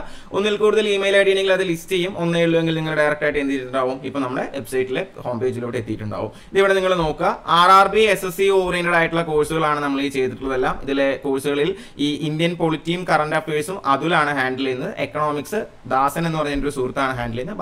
ബാക്കിയെല്ലാം തന്നെ ഞാൻ തന്നെ എടുക്കുന്ന കോഴ്സുകളാണ് എല്ലാ കോഴ്സുകളും R R B S S C focused ആണ്. ഇതിലെ ഓരോ കോഴ്സുകളും ഞാനാണെങ്കിലും ദാസനാണെങ്കിലും അതിലാണെങ്കിലും വളരെ എഫേർട്ട് ഇട്ട് പ്രീവിയസ് ക്വസ്റ്റ്യൻസ് എല്ലാം റെഫർ ചെയ്ത് നിങ്ങൾക്ക് എന്താണോ വേണ്ടത് ആ വേണ്ടുന്ന കണ്ടന്റ് മാത്രം ക്ലിയർ ആൻഡ് ക്രിസ്പ് ആയിട്ട് പ്രൊവൈഡ് ചെയ്തിരിക്കുകയാണ്. അല്ലാതെ ഒരുപാട് വാരി വലിച്ച് നമ്മൾ എടുക്കുന്നില്ല. ആവശ്യം ആവശ്യത്തിലില്ലാത്തതിലൊന്നും നമ്മൾ പറയാൻ നിൽക്കുന്നില്ല. ആവശ്യത്തിൽ കൂടുതൽ നമ്മൾ പറയാൻ നിൽക്കുന്നില്ല. എന്താണോ നിങ്ങൾക്ക് വേണ്ടത് അത് മാത്രമാണ് എന്ത് ചെയ്യുന്നത് നമ്മൾ പ്രൊവൈഡ് ചെയ്യുന്നത്. ഇനി നമുക്കൊരു കോഴ്സിനകത്ത് കയറി നോക്കാം. എന്താണ് അതിനകത്ത് കാണാൻ പറ്റുക എന്നുള്ളത്. ഇവിടെ നമ്മൾ നിങ്ങൾ ഒരു കോഴ്സും എടുത്തിട്ടില്ല. അങ്ങനെയാണെങ്കിൽ ഈ ഒരു മെസ്സേജ് ആയിരിക്കും നിങ്ങളെ കാണാൻ കഴിയുക. പക്ഷേ നിങ്ങൾ ഒരു കോഴ്സ് എടുക്കുന്നതിന് മുമ്പ് നിങ്ങൾക്ക് എന്തരണം ആ കോഴ്സ് നല്ലതാണോ? അല്ലെങ്കിൽ ആ ക്ലാസ് നല്ലതാണോ? നമുക്ക് യൂസ്ഫുൾ ആണോ അറിയണം അല്ലേ? അതിന് വേണ്ടിയിട്ട് നിങ്ങൾ അതിലെ ഒരു ക്ലാസ് എടുത്ത് കഴിഞ്ഞാൽ ഓരോ സെക്ഷൻസ് കാണാം. ഇവിടെ ഇന്ത്യൻ ഹിസ്റ്ററി ആയതുകൊണ്ട് ancient India medical India modern India governor ജനറലും വൈസ്രോയൊക്കെ ഉണ്ട്. അത് നിങ്ങൾ എടുത്തു കഴിഞ്ഞാൽ അതിൽ എല്ലാ സെക്ഷനിലെയും ആദ്യത്തെ ക്ലാസ് നിങ്ങൾക്ക് കാണാൻ കഴിയും. അതിൽ ജസ്റ്റ് ക്ലിക്ക് ചെയ്ത് കഴിഞ്ഞാൽ എന്താ എന്ത് ചെയ്യാൻ പറ്റും? നിങ്ങൾക്ക് ഇവിടെ ആദ്യത്തെ ക്ലാസ് എന്ത് ചെയ്യാൻ പറ്റും? ഈസി ആയിട്ട് നിങ്ങൾക്ക് അത് കാണാൻ പറ്റും. അത് കണ്ട് നിങ്ങൾക്ക് അനലൈസ് ചെയ്യാം. മാത്രമല്ല ഒരു എക്സ്ട്രാ ഫീച്ചർ ആയിട്ട് നമ്മൾ ചെയ്യുന്നതാണ് ആ ഒരു ക്ലാസ്സിനെ ബേസ് ചെയ്തുള്ള എക്സാംസ് ആ ഒരു ക്ലാസ്സിനെ ബേസ് ചെയ്തുള്ള എക്സാംസ് എന്ന് പറയുമ്പോൾ അതിലെ ചോദ്യങ്ങൾ ഒരു പത്ത് ചോദ്യങ്ങളുടെ ഒരു പരീക്ഷയാണ് ആ ക്ലാസ്സിനെ ബേസ് ചെയ്തിട്ടുള്ളത്. അതിൽ ഭൂരിഭാഗം ചോദ്യങ്ങളും R R B S S C previous ക്വസ്റ്റ്യൻസും ഇനി ചോദിക്കാൻ സാധ്യതയുള്ള ചോദ്യങ്ങളുമായിരിക്കും എന്ത് ചെയ്തിട്ടുണ്ടാവുക? നമുക്ക് തന്നിട്ടുണ്ടാവുക. എന്തിനാ അങ്ങനെ ചെയ്യുന്നതെന്ന് വെച്ച് കഴിഞ്ഞാൽ അതൊരു കൈൻഡ് ഓഫ് റിവിഷൻ ടെക്നിക്കാണ് പ്രൂവൺ ആയിട്ടുള്ള ഒരു റിവിഷൻ ടെക്നിക്കാണ് ഒരു പഠിച്ച കാര്യം ഉടനെ നമ്മൾ റിവൈസ് ചെയ്യണമെങ്കിൽ കുറേ കാലം കൂടി എന്ത് ചെയ്യാൻ പറ്റും? നമ്മൾ സാധാരണ ഓർത്തിരിക്കുന്നതിൽ നിന്നും അത് ഓർത്തിരിക്കാൻ നമ്മളെ സഹായിക്കും എന്നുള്ളത് ഒരു പ്രൂവൺ ടെക്നിക്കാണ് അതിനു വേണ്ടിയാണ് എന്ത് ചെയ്യുന്നത്? നമ്മൾ ചെയ്യുന്നത്. മാത്രമല്ല അതിനൊരു എക്സ്ട്രാ ബോണസ് കൂടി ഉണ്ട് നിങ്ങളിപ്പോൾ ഒരു ക്ലാസ് കണ്ടു അതിൽ കണ്ട കാര്യങ്ങളും അതിൽ ഞാൻ പറഞ്ഞ കാര്യങ്ങൾ അല്ലെങ്കിൽ നമ്മുടെ മറ്റൊരു എഡ്യൂക്കേറ്റർ പറഞ്ഞ കാര്യങ്ങളൊക്കെ തന്നെയാണോ എക്സാം പോയിന്റ് ഓഫ് വ്യൂ ചോദിച്ചിട്ടുള്ളതെന്ന് നിങ്ങൾക്ക് അറിയണ്ടേ? അത് മനസ്സിലാവണമെങ്കിൽ എന്ത് നോക്കണം? പ്രീവിയസ് ക്വസ്റ്റ്യൻസ് നോക്കണം. അപ്പോൾ അങ്ങനെയും എന്തുണ്ട്? അങ്ങനെ ഒരു ഉപകാരം കൂടി അതിനകത്തുണ്ട്. പിന്നെ ഇതിനകത്ത് നിങ്ങൾ കാണാൻ ഞാൻ നേരത്തെ പറഞ്ഞ പോലെ ഫസ്റ്റ് ക്ലാസ് കണ്ടിട്ട് അത് യൂസ്ഫുൾ ആണെങ്കിൽ മാത്രം എന്ത് ചെയ്താൽ മതി? നിങ്ങൾ കോഴ്സ് എടുത്താൽ മതി. പിന്നെ നമ്മുടെ വാലിഡിറ്റി എന്ന് പറയുന്നത് നമ്മുടെ പലരും നിങ്ങൾക്കറിയാം നമ്മുടെ സബ്സ്ക്രിപ്ഷൻ പരിപാടിയൊന്നുമല്ല. നമ്മുടെ വാലിഡിറ്റി എന്ന് പറയുന്ന ലൈഫ് ടൈമാണ് ഒരു കോഴ്സ് നിങ്ങൾ എടുത്തു കഴിഞ്ഞാൽ അതിന്റെ വാലിഡിറ്റി എന്ന് പറയുന്ന ലൈഫ് ടൈമാണ് എത്ര കാലം വേണമെങ്കിലും എന്ത് ചെയ്യാൻ പറ്റും നിങ്ങൾക്കിത് കാണാൻ പറ്റും. ഇതിന്റെ ഫീ ഡീറ്റെയിൽസ് ഞാനിപ്പോൾ ഇവിടെ പ്രൊവൈഡ് ചെയ്യാം. ഫീ ഡീറ്റെയിൽസ് നിങ്ങൾക്ക് നോക്കാൻ പറ്റും. വളരെ ഒരു മൂന്ന് മാസത്തെ നെറ്റ് ഓഫിന്റെ കാശൊക്കെയാണ് നമ്മൾ പല കോഴ്സുകൾക്കും ചെയ്തിരിക്കുന്നത്. കമ്പ്യൂട്ടർ നോളജിനും കറണ്ട് അഫയേഴ്സിനും ഇരുന്നൂറ് രൂപയാണ്. Physics chemistry biology history economics polity എന്നിവയ്ക്ക് ഇരുന്നൂറ്റമ്പത് രൂപയും മാത്സിനും റീസണിങ്ങിനും അറുന്നൂറ് രൂപയും വെച്ചാണ് നമ്മൾ ചാർജ് ചെയ്യുന്നത്. സബ്സ്ക്രിപ്ഷൻ ഒന്നുമില്ല. നിങ്ങൾക്ക് അഫോർഡബിൾ ആയിട്ടുള്ള റേറ്റിൽ നല്ല ക്വാളിറ്റി കണ്ടന്റ് പ്രൊവൈഡ് ചെയ്യുക എന്നുള്ളതാണ് എന്ത് ചെയ്യുന്നത് നമ്മൾ ആഗ്രഹിക്കുന്നത്. അപ്പോൾ ഈ ഒരു രീതിയിലൊക്കെയാണ് എന്ത് ചെയ്യുന്നത് നമ്മുടെ സൈറ്റ് വർക്ക് ചെയ്തുകൊണ്ടിരിക്കുന്നത്. ഈ ഒരു സൈറ്റിലാണ് നമ്മുടെ ക്ലാസ്സുകൾ പ്രൊവൈഡ് ചെയ്യുന്നത്. അപ്പോൾ ഇതിൽ ജോയിൻ ചെയ്യാൻ താല്പര്യമുള്ളവരുണ്ടെങ്കിൽ N T P C tier two I B എല്ലാത്തിനും നമ്മുടെ ഈ കോഴ്സുകൾ തന്നെയൊക്കെ മതിയാവും. അപ്പോൾ ഇതിൽ ജോയിൻ ചെയ്യാൻ താല്പര്യമുള്ള താല്പര്യമുള്ളവരുണ്ടെങ്കിൽ ജോയിൻ ചെയ്യേണ്ട ഡീറ്റെയിൽസും കാര്യങ്ങളെല്ലാം. സൈറ്റിൽ കയറിയിട്ട് നിങ്ങൾക്ക് ജോയിൻ ചെയ്യാം. ഇപ്പോൾ ഞാൻ നിങ്ങൾക്ക് ഓൾറെഡി കാണിച്ചു അല്ലെങ്കിൽ നിങ്ങൾ എന്ത് ചെയ്തോളൂ ഇതിന്റെ ഡിസ്ക്രിപ്ഷനിലും ഫസ്റ്റ് കമന്റിലും എങ്ങനെയാണ് ജോയിൻ ചെയ്യേണ്ടത് എന്നുള്ള ലിങ്ക് ഞാൻ കൊടുക്കാം. അതുവഴി നിങ്ങൾക്ക് എന്ത് ചെയ്യാം? നിങ്ങൾക്ക് നമ്മുടെ കോഴ്സുകളിൽ ജോയിൻ ചെയ്യാം. അപ്പം ഇനി എന്ത് ചെയ്യാം? നമുക്ക് നമ്മുടെ ചോദ്യങ്ങളിലേക്ക് പോവാം. ഇരുപത്തി ഒന്നാമത് ചോദ്യം. Anti defection law is given in which schedule of Indian constitution നമ്മുടെ ഇന്ത്യൻ കോൺസ്റ്റിറ്റ്യൂഷനിലെ ഏത് ഷെഡ്യൂളിലാണ് ആന്റി ഡിഫെക്ഷൻ ലോ പരാമർശിച്ചിട്ടുള്ളത് എന്നാണ് ചോദ്യം വന്നിട്ടുള്ളത്. ആന്റി ഡിഫെക്ഷൻ ലോ ആയിട്ട് ബന്ധപ്പെട്ട കാര്യങ്ങൾ കഴിഞ്ഞ സ്ലൈഡിൽ നമ്മൾ പറഞ്ഞായിരുന്നു അല്ലേ ഞാൻ ഓൾറെഡി നിങ്ങൾ നിങ്ങളോട് പറഞ്ഞായിരുന്നു ഇന്ത്യൻ പൊളിറ്റിയിലെ പല ഫാക്റ്റും അങ്ങോട്ടും ഇങ്ങോട്ടും ഇന്റർ കണക്റ്റഡ് ആയിട്ടാണ് വരുന്നത്. നമ്മൾ ഒരു ഫാക്റ്റ് പഠിച്ചു വെച്ചാൽ ഒരു ഫാക്റ്റ് നമ്മൾ വളരെ ക്രിസ്റ്റൽ ക്ലിയർ ആയിട്ട് പഠിച്ചു വെച്ചാൽ അതിൽ നിന്ന് വരുന്ന നാലോ അഞ്ചോ ചോദ്യങ്ങൾ സിമ്പിളായിട്ട് നമുക്ക് വേറെ ഫാക്റ്റ് അഡീഷണൽ ഫാക്റ്റ് ഒന്നും പഠിക്കാതെ തന്നെ. ഇപ്പോൾ ഈ ഒരു ആന്റി ഡിഫെക്ഷൻ ലോ പഠിക്കുന്ന സമയത്ത് ആന്റി ഡിഫെക്ഷൻ ലോ ആയിട്ട് ബന്ധപ്പെട്ട് അതിൽ ആയ തീരുമാനം എടുക്കുന്നു. അതുപോലെ അത് വന്നുള്ള വർഷം അതുപോലെ തന്നെ അതുമായിട്ട് ബന്ധപ്പെട്ട ഷെഡ്യൂൾ അങ്ങനെയുള്ള കാര്യങ്ങളൊക്കെ നമ്മൾ കൃത്യമായിട്ട് അവിടെ പഠിച്ചു വെച്ച് കഴിഞ്ഞാൽ നമുക്ക് ആ ഒരു കാര്യം പിന്നീട് തിരിഞ്ഞു നോക്കേണ്ടി വരില്ല. ആ ഒരു ഫാക്റ്റിൽ നിന്ന് മാത്രമേ ചോദ്യങ്ങൾ ചോദിക്കാറുള്ളൂ. അതിന് വേണ്ട കാര്യങ്ങളൊക്കെ നമ്മൾ ഈ ഒരു പ്രീവിയസ് ഇയർ ക്വസ്റ്റ്യൻസിൽ ആഡ് ചെയ്തിട്ടുണ്ട്. എന്തായാലും ഓർത്തുവിടും നമ്മുടെ ഇന്ത്യൻ കോൺസ്റ്റിറ്റ്യൂഷനിലെ ടെൻത്ത് ഷെഡ്യൂളിലാണ് ആന്റി ഡിഫെക്ഷൻ ലോയെ പറ്റി കൂറുമാറ്റ നിരോധന നിയമത്തെ പറ്റി പറയുന്നത്. ഇതൊക്കെ പഠിക്കാൻ വേണ്ടി നമ്മുടെ ഇന്ത്യൻ കോൺസ്റ്റിറ്റ്യൂഷനിലെ ഷെഡ്യൂൾസ് പന്ത്രണ്ട് ഷെഡ്യൂൾസും ഈസി ആയിട്ട് പഠിക്കാൻ വേണ്ടിയുള്ള കോഡ് നമ്മൾ പറഞ്ഞായിരുന്നു അല്ലേ എന്തായിരുന്നു? T S of old P M ആ ഒരു കോഡൊക്കെ പറഞ്ഞായിരുന്നു. അതൊക്കെ നമ്മൾ പൊളിറ്റി ക്രാഷ് കോഴ്സിൽ വളരെ ഡീറ്റെയിൽഡ് ആയിട്ട് തന്നെ ഡിസ്കസ് ചെയ്തിട്ടുണ്ട്. ഇരുപത്തിരണ്ടാമത്തെ ചോദ്യം എന്താണ്? Who appoints governor of state in India എന്താണ് കാര്യം? സംസ്ഥാന ഗവർണർമാരെ ആര് അപ്പോയിന്റ് ചെയ്യുന്നു എന്നാണ് ചോദ്യം. ആരാണ് സംസ്ഥാന ഗവർണർമാരെ അപ്പോയിന്റ് ചെയ്യുന്നത്? പ്രസിഡന്റാണ് ഇന്ത്യൻ പ്രസിഡന്റാണ് അപ്പോയിന്റ് ചെയ്യുന്നത്. സെൻട്രൽ ഗവൺമെന്റ് ഉപദേശപ്രകാരമാണ് പ്രസിഡന്റ് ഈ ഒരു അപ്പോയിൻമെന്റ് നടത്തുന്നത്. എന്തായാലും ഓർത്ത് വയ്ക്കണം പ്രസിഡന്റാണ് ഗവർണറെ അപ്പോയിന്റ് ചെയ്യുന്നത്. ഗവർണറും പ്രസിഡന്റും ഏതാണ്ട് പദവികൾ തമ്മിൽ നോക്കുന്ന സമയത്ത് ഒരു പർട്ടിക്കുലർ ഏരിയയിൽ നമുക്ക് ഈക്വൽ പവേഴ്സാണ് വരുന്നത് അല്ല? അതായത് ഇന്ത്യ മൊത്തം നമ്മുടെ പ്രസിഡന്റിനുള്ള അതേ പവറാണ് ഒരു പർട്ടിക്കുലർ സംസ്ഥാനത്തിന് ഗവർണർക്ക് വരുന്ന പവറും. ആ രീതിയിൽ നമ്മൾ കമ്പയർ ചെയ്തിട്ടൊക്കെ പൊളിറ്റി ക്ലാസ്സിൽ പറഞ്ഞിട്ടുണ്ടായിരുന്നു. ആ ഒരു ഫാക്റ്റ് ഇമ്പോർട്ടന്റ് ആയിട്ട് ഓർത്തു വയ്ക്കണം ഗവർണറെ സംസ്ഥാനങ്ങളിലെ ഗവർണറെ അപ്പോയിന്റ് ചെയ്യുന്ന ആരാണ്? പ്രസിഡന്റാണ് on the advice of central ministry okay ക്യാബിനറ്റിന്റെ advice പ്രകാരമാണ് പ്രസിഡന്റ് അപ്പോയിന്റ് ചെയ്യുന്നത്. ഇരുപത്തി മൂന്നാമത്തെ ചോദ്യം എന്തായിരുന്നു? Which article of Indian constitution has provision for national emergency എന്താണ് കാര്യം? നമ്മുടെ ഇന്ത്യയിൽ ദേശീയ അടിയന്തരാവസ്ഥ പ്രഖ്യാപിക്കുന്ന ആ ഒരു എമർജൻ ആ ഒരു ആർട്ടിക്കിൾ ഏതാണെന്നാണ് ചോദ്യം വന്നിട്ടുള്ളത്? ആർട്ടിക്കിൾ മുന്നൂറ്റി അൻപത്തി രണ്ടാണല്ലേ മുന്നൂറ്റി അൻപത്തി രണ്ട് പ്രകാരമാണ് നമ്മുടെ ഇന്ത്യയിൽ ദേശീയ അടിയന്തരാവസ്ഥ പ്രഖ്യാപിക്കുന്നത്. ആ ഒരു ഫാക്റ്റ് പലതവണ ചോദിച്ചിട്ടുണ്ട്. മൂന്ന് കാര്യങ്ങളാണ് നമുക്ക് കൺഫ്യൂഷൻ ആവുന്നത്. അതായത് മുന്നൂറ്റി അൻപത്തിരണ്ട് മുന്നൂറ്റി അൻപത്തി ആറ് മുന്നൂറ്റി അറുപത് അതിൽ മുന്നൂറ്റി അൻപത്തി രണ്ട് എന്ന് പറയുന്നത് നമ്മുടെ നാഷണൽ എമർജൻസി നമ്മളിപ്പോൾ പറഞ്ഞ കാര്യം മുന്നൂറ്റി അൻപത്തി ആറ് സ്റ്റേറ്റ് എമർജൻസി മുന്നൂറ്റി അറുപത് നമ്മുടെ ഫിനാൻഷ്യൽ എമർജൻസി ഇതിൽ രണ്ട് കാര്യങ്ങളാണ് നമുക്ക് പലപ്പോഴും മാറിപ്പോകുന്നത്. എന്തൊക്കെയായിരുന്നു? സ്റ്റേറ്റ് എമർജൻസിയും നാഷണൽ എമർജൻസിയും അത് പഠിക്കാൻ വേണ്ടിയിട്ടുള്ള ഞാനൊരു കാര്യം നിങ്ങളോട് പറഞ്ഞായിരുന്നു. നമ്മുടെ കേരള സ്റ്റേറ്റ് ഫോം ചെയ്ത വർഷം മാത്രം നമ്മൾ ഓർത്തു വെച്ചാൽ മതി. ഏതാണ് വർഷം? ആയിരത്തി തൊള്ളായിരത്തി അൻപത്തി ആറിലെ അൻപത്തി ആറ് എന്ന് പറയുമ്പോൾ എന്താണ് ഓർത്തു വയ്ക്കേണ്ടത് നമ്മുടെ സംസ്ഥാനം ഓർത്തു വയ്ക്കുക സംസ്ഥാനം സ്റ്റേറ്റ് ആ രീതിയിൽ കണക്ട് ചെയ്ത് കഴിഞ്ഞാൽ മുന്നൂറ്റി അൻപത്തി ആറ് സംസ്ഥാന അടിയന്തരാവസ്ഥ സ്റ്റേറ്റ് എമർജൻസി ആ രീതിയിൽ ഓർത്തു വയ്ക്കാൻ പറ്റും. ഫിനാൻഷ്യൽ എമർജൻസി പിന്നെ നമുക്ക് കൺഫ്യൂഷൻ ആവില്ല. മുന്നൂറ്റി അറുപതാണ് ഇന്ത്യയിൽ ഇതുവരെ വന്നിട്ടില്ല ഫിനാൻഷ്യൽ എമർജൻസി എന്നാൽ സ്റ്റേറ്റ് എമർജൻസി ഒക്കെ നോക്കുന്ന സമയത്ത് ഒരുപാട് തവണ നമ്മുടെ ഇന്ത്യയിൽ വിവിധ സംസ്ഥാനങ്ങളിൽ വന്നിട്ടുണ്ട്. ദീർഘകാലം പഞ്ചാബിൽ വന്നിട്ടുണ്ട്. ഏറ്റവും കൂടുതൽ തവണ യു പിയിൽ വന്നിട്ടുണ്ട്. ആ രീതിയിലൊക്കെ നമ്മൾ പല ഫാക്റ്റും പഠിച്ചിട്ടുണ്ട്. അതൊക്കെ നമ്മൾ അങ്ങോട്ട് വരുന്ന സമയത്ത് ഡിസ്കസ് ചെയ്യുന്നതായിരിക്കും. എന്തായാലും ഓർത്തു വയ്ക്കുക ആർട്ടിക്കിൾ മുന്നൂറ്റി അൻപത്തി രണ്ട് പ്രകാരമാണ് നമ്മുടെ ഇന്ത്യയിലെ ദേശീയ അടിയന്തരാവസ്ഥ അല്ലെങ്കിൽ നാഷണൽ എമർജൻസി പ്രഖ്യാപിക്കുന്നത്. ഓക്കെ ഇരുപത്തിനാലാമത്തെ ചോദ്യം എന്താണ്? What is the minimum age for becoming a governor of the state in India എന്താണ് കാര്യം? നമ്മുടെ ഇന്ത്യയിലെ ഒരു സംസ്ഥാനത്ത് ഗവർണർ ആവാൻ വേണ്ട മിനിമം പ്രായം എത്രയെന്നാണ് ചോദ്യം. എത്രയാണ്? മുപ്പത്തി അഞ്ച് വയസ്സാണല്ലേ? ഞാൻ ഓൾറെഡി നിങ്ങളോട് പറഞ്ഞായിരുന്നു നമ്മുടെ പ്രസിഡന്റും ഗവർണറും കമ്പയർ ചെയ്തിട്ട് മാത്രം പഠിക്കുക. പ്രസിഡന്റ് ഏജ് എത്രയാണ്?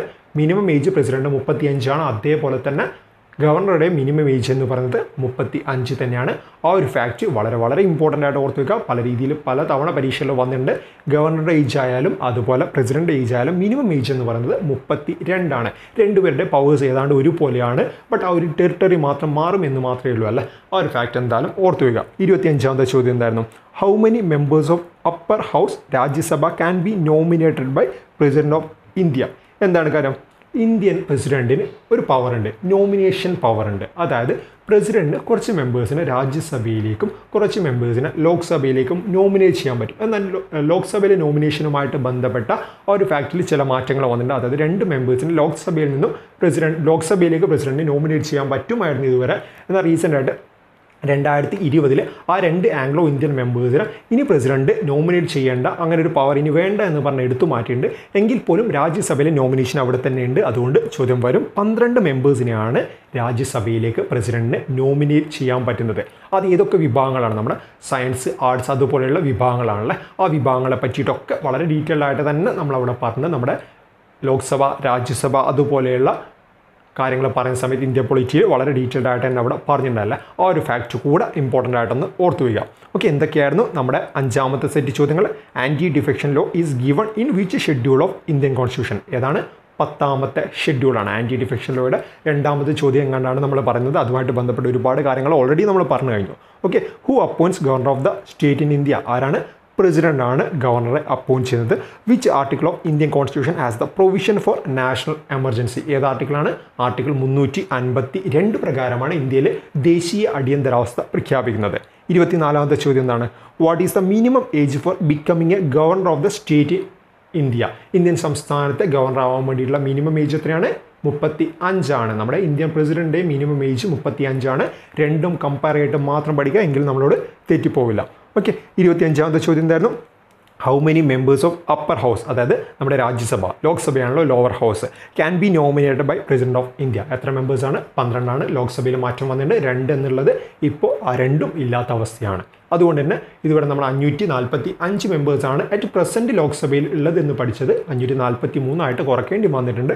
ആ ഒരു ഫാക്റ്റ് എന്തായാലും നമ്മൾ ഓൾറെഡി ഡിസ്കസ് ചെയ്യേണ്ട. അതിൽ വന്നിട്ടുള്ള അമെൻമെന്റ് ബില്ലും ബില്ലുമായിട്ട് ബന്ധപ്പെട്ട കാര്യങ്ങളും അത് പിന്നീട് ആക്റ്റായിട്ട് മാറിയ മാറിയ കാര്യങ്ങളൊക്കെ നമ്മൾ ഇന്ത്യൻ പൊളിറ്റിയിൽ പറഞ്ഞിട്ട് അത് കണ്ടിട്ടില്ലെങ്കിൽ ഒന്നുകൂടെ പോയിട്ട് കാണുക. ഡീറ്റെയിൽ ആയിട്ട് തന്നെ അവിടെ പറഞ്ഞിട്ടുണ്ട്. ഓക്കെ നമ്മൾ അടുത്ത സെറ്റ് ചോദ്യങ്ങൾ എന്തൊക്കെയാണ്? ഇരുപത്തി ആറാമത് ചോദ്യമാണ്. എന്താണ് ഇരുപത്തി ആറാമത് ചോദ്യം? Comptroller and auditor general of India is appointed for how many years എന്താണ് കാര്യം? സാധാരണയായിട്ട് ടെന്യൂർ ചോദിക്കാറുണ്ടല്ലേ? നമ്മുടെ സുപ്രീം കോടതി ചീഫ് ജസ്റ്റിസ് പ്രസിഡന്റ് അതുപോലെയുള്ള അതോറിറ്റീസിനൊക്കെ ടെന്യൂർ ചോദിക്കാറുണ്ട്. അതുപോലെ മറ്റൊരു വളരെ പ്രധാനപ്പെട്ട അതോറിറ്റിയാണ് comptroller and auditor general of India C എന്ന് പറയും. സി എ ജി ആണ് നമ്മുടെ ഇന്ത്യയിലെ ഓഡിറ്റ്സും കാര്യങ്ങളൊക്കെ ഡിസ്കസ് ചെയ്യുന്നത്. അദ്ദേഹമാണ് അതിനെക്കുറിച്ച് പഠിക്കുകയും അതിന്റെ റിപ്പോർട്ടൊക്കെ സബ്മിറ്റ് ചെയ്യുന്നത് സി എ ജി ആണ്. സി എ ജി ആയിട്ട് ബന്ധപ്പെട്ട സെപ്പറേറ്റ് ആയിട്ടുള്ള ഒരു ക്ലാസ് തന്നെ നമ്മളവിടെ പറയുന്നുണ്ട്. എന്തായാലും ഓർത്തുക്കണം സി എ ജിയുടെ ടെന്യൂർ നമ്മളവിടെ പറഞ്ഞിട്ട് ആറ് വർഷമാണ്. പലപ്പോഴും നമ്മൾ അഞ്ച് എന്ന് കാണുന്ന സമയത്ത് ചാടിക്കേരി ഓപ്ഷൻ എ അഞ്ചാണെങ്കിൽ അഞ്ചിൽ കുത്താൻ സാധ്യതയുണ്ടല്ല? അഞ്ചല്ല ഉത്തരം ആറാണ്. സി എ ജിയുടെ ടെന്യൂർ എന്ന് പറയുന്നത് ആറ് വർഷത്തേക്കാണ്. അഞ്ചല്ല ഓർത്ത് വയ്ക്കണം ഓപ്ഷൻ എ നമുക്ക് അഞ്ചുണ്ടാവും അഞ്ച് നമ്മൾ കുത്തും ഉത്തരം തെറ്റായിട്ട് വരും. നമുക്ക് one by three minus mark R R ബിയിലാണെങ്കിൽ വരികയും ചെയ്യും. ആ ഒരു ഫാക്റ്റ് എന്തായാലും ഓർത്ത് വയ്ക്കുക ഇരുപത്തി ഏഴാമത്തെ ചോദ്യം എന്താണ്? How many times a person can be elected as the president of India എന്താണ് ചോദ്യം? നമ്മുടെ ഒരു ഇന്ത്യൻ പ്രസിഡന്റ് എത്ര തവണ തിരഞ്ഞെടുക്കാൻ പറ്റും? ഇന്ത്യയുടെ പ്രസിഡന്റായിട്ട് ഒരാളെ എത്ര തവണ തിരഞ്ഞെടുക്കാൻ പറ്റും? എത്ര തവണയാണ്? ഒരു തവണ മാത്രമേ നമുക്ക് പറ്റുകയുള്ളൂ. അങ്ങനെ ഉണ്ടോ? രണ്ട് തവണ മാത്രമാണോ? മൂന്നാണോ? അല്ല ഈ നമ്പർ ഇല്ലേ? എങ്ങനെയാണ് നമ്മുടെ ഇന്ത്യൻ പ്രസിഡന്റ് വരുന്നത്? ഇന്ത്യൻ പ്രസിഡന്റിനെ തിരഞ്ഞെടുക്കാൻ വേണ്ടിയിട്ട് നമ്മുടെ ഇന്ത്യൻ കോൺസ്റ്റിറ്റ്യൂഷനിൽ അദ്ദേഹത്തിന് നമ്പർ ഓഫ് ടൈംസുമായിട്ട് ബന്ധപ്പെട്ട് യാതൊരുവിധ കാര്യങ്ങളും പറയുന്നില്ല. അതുകൊണ്ട് തന്നെ നമുക്ക് എന്ത് പറയാൻ പറ്റും? എത്ര തവണ വേണമെങ്കിലും ഒരു പേഴ്സണെ നമുക്ക് ഇന്ത്യൻ പ്രസിഡന്റായിട്ട് തിരഞ്ഞെടുക്കാൻ പറ്റും. ആ രീതിയിൽ തന്നെ ഒന്ന് ഒരു തവണയും രണ്ട് തവണയും തുടർച്ചയായിട്ടൊക്കെ വന്നിട്ടുള്ള ആളുകളൊക്കെ നമ്മുടെ ഇന്ത്യൻ പ്രസിഡന്റായിട്ട് വന്നിട്ടുണ്ട്. തുടക്കത്തിലുള്ള നമ്മുടെ ഫസ്റ്റ് പ്രസിഡന്റൊക്കെ അതായത് രാജേന്ദ്ര പ്രസാദ് തന്നെ തുടർച്ചയായിട്ട് രണ്ട് തവണയൊക്കെ വന്നിട്ടുണ്ടല്ലേ? ആ ഒരു ഫാക്റ്റൊക്കെ നമ്മൾ എന്തായാലും ഓർത്ത് വയ്ക്കുക നമ്മുടെ ഇന്ത്യൻ പ്രസിഡന്റ് തിരഞ്ഞെടുക്കാൻ വേണ്ടിയിട്ട് അല്ലെങ്കിൽ അദ്ദേഹത്തെ റീ അപ്പോയിന്റ് ചെയ്യുന്നത് നമുക്ക് എത്ര കാലം വേണമെങ്കിലും അദ്ദേഹത്തെ അപ്പോയിന്റ് ചെയ്യാൻ പറ്റും. അതിന് ലിമിറ്റ് ഒന്നുമില്ല. ആ ഒരു ഫാക്റ്റ് മാത്രം ഒന്ന് ഓർത്ത് വയ്ക്കാം അടുത്ത ചോദ്യം എന്താണ്? Which article was referred to as the heart and soul of the constitution by doctor B R Ambedkar എന്താണ് ചോദ്യം?